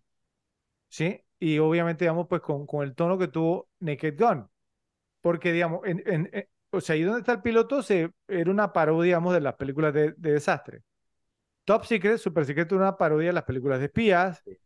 ¿cierto? Y obviamente, ¿y dónde está el pol- policía? Una parodia de las, de las películas y series Series. de policías, ¿cierto? Digamos, a- hasta incluso series, La calle de San Francisco, hasta Dragnet, porque Dragnet creo que también tenía Drag, como un Dragnet, ¿no? sí. Eh, es más, era lo más cercano como una parodia de Dragnet. ¿sí? Entonces, o sea, pero la pregunta mía es, digamos, o sea, pues no, si el impacto de ¿y dónde está el piloto? fue tan grande como pensamos, ¿por qué en esa época no se hicieron, digamos, entonces no, no salieron las copias? Esa es la pregunta que yo tengo. Entonces, lo único que se me puede ocurrir es que no estaba de moda primero eh, y que lo que estaban de moda eran las, las comedias sexy de, de adolescentes como Porky, lo que hablamos el último, la última Virgen Americana, eh, todas estas cosas que, que conversamos hace un momento. Muchos factores, incluso el, el ¿Y hecho de que, de que no, de que no quiera ser el, el copycat, también pudo haber sido. No, es eso a Hollywood nunca le, eso no- nunca le ha importado. Sa- sa- ¿Sabes qué creo que pudo haber sido yo? Dos factores. Uno, que Police Squad fue un fracaso y dos, que Top Secret no tuvo el éxito que... Sí, no, no tuvo el éxito abrumador, porque fue un éxito, pero no tuvo un éxito abrumador. Creo que esos dos factores. Y entonces cuando sale de Naked Gun y es un exitazo de taquilla, Mm, y después sale la segunda parte, que la segunda parte de qué año es, no me acuerdo. creo que es del 91 o 90, no me acuerdo. Ya te digo, ya te digo enseguida, Joe. La segunda parte de Naked Gun Two and a Half es del 91, o sea que salió tres Mm. años después. Y también fue un exitazo. Es más, Sí. es más, déjame buscarlo rápidamente porque creo que recaudó más que la primera. Porque ya la gente co- conocía al personaje. Sí, Mira, eh, 23 millones eh, el presupuesto y recaudó 86 millones, entonces sí ganó más. Entonces ahí está el tema, ¿cierto? Entonces, bueno, para ti entonces al final del día, ¿cuál fue la que tuvo may- may- mayor influencia en el género de comedia y cuál fue, digamos, entonces la que realmente, no sé, inspiró todas estas copycats, ¿cierto? Todas estas copias que salieron, porque mira el listado, y eso que no incluye un montón, ¿eh?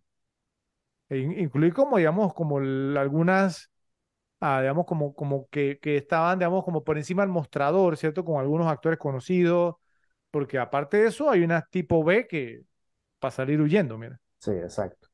A ver, entonces, Sí, probablemente por la época, obviamente, Naked Gun estuvo más cerca de las otras, pero, pero al final también lo que te digo, o sea, sin Airplane, nada de lo demás pasa. ok, Entonces, ok. eh, o sea, Air- Airplane fue, para mí fue el comienzo, o sea, el comienzo del estilo y, y, y capitalizó, digamos, en su mayoría fue con Naked Gun, pero, pero esa fue no la original. O sea, eh, eh, eh, yo- sin eso no hubiera habido ni Police Squad. ¿entiendes? Estamos, estamos totalmente de acuerdo, yo. Ahora, sí te digo una cosa. Quizás el mayor legado de, de Naked Gun fue que convirtió a Leslie Nielsen en la persona a la que había que recurrir para cualquier parodia. Su apariencia se convirtió efectivamente en una abreviatura para denotar el tipo de película que estabas a punto de ver. Lamentablemente, muchos de estos films, como mencionamos, no se acercaron ni remotamente a la mejor de las producciones del trío SAS, con la gran mayoría de ellos imitando ciegamente el tipo de humor, pero con apenas una pizca de encanto, sofisticación e ingenio en evidencia. Cualquiera que sea la forma de comedia que nos depare el futuro, la fuerza cómica de The Naked Gun permanecerá intacta.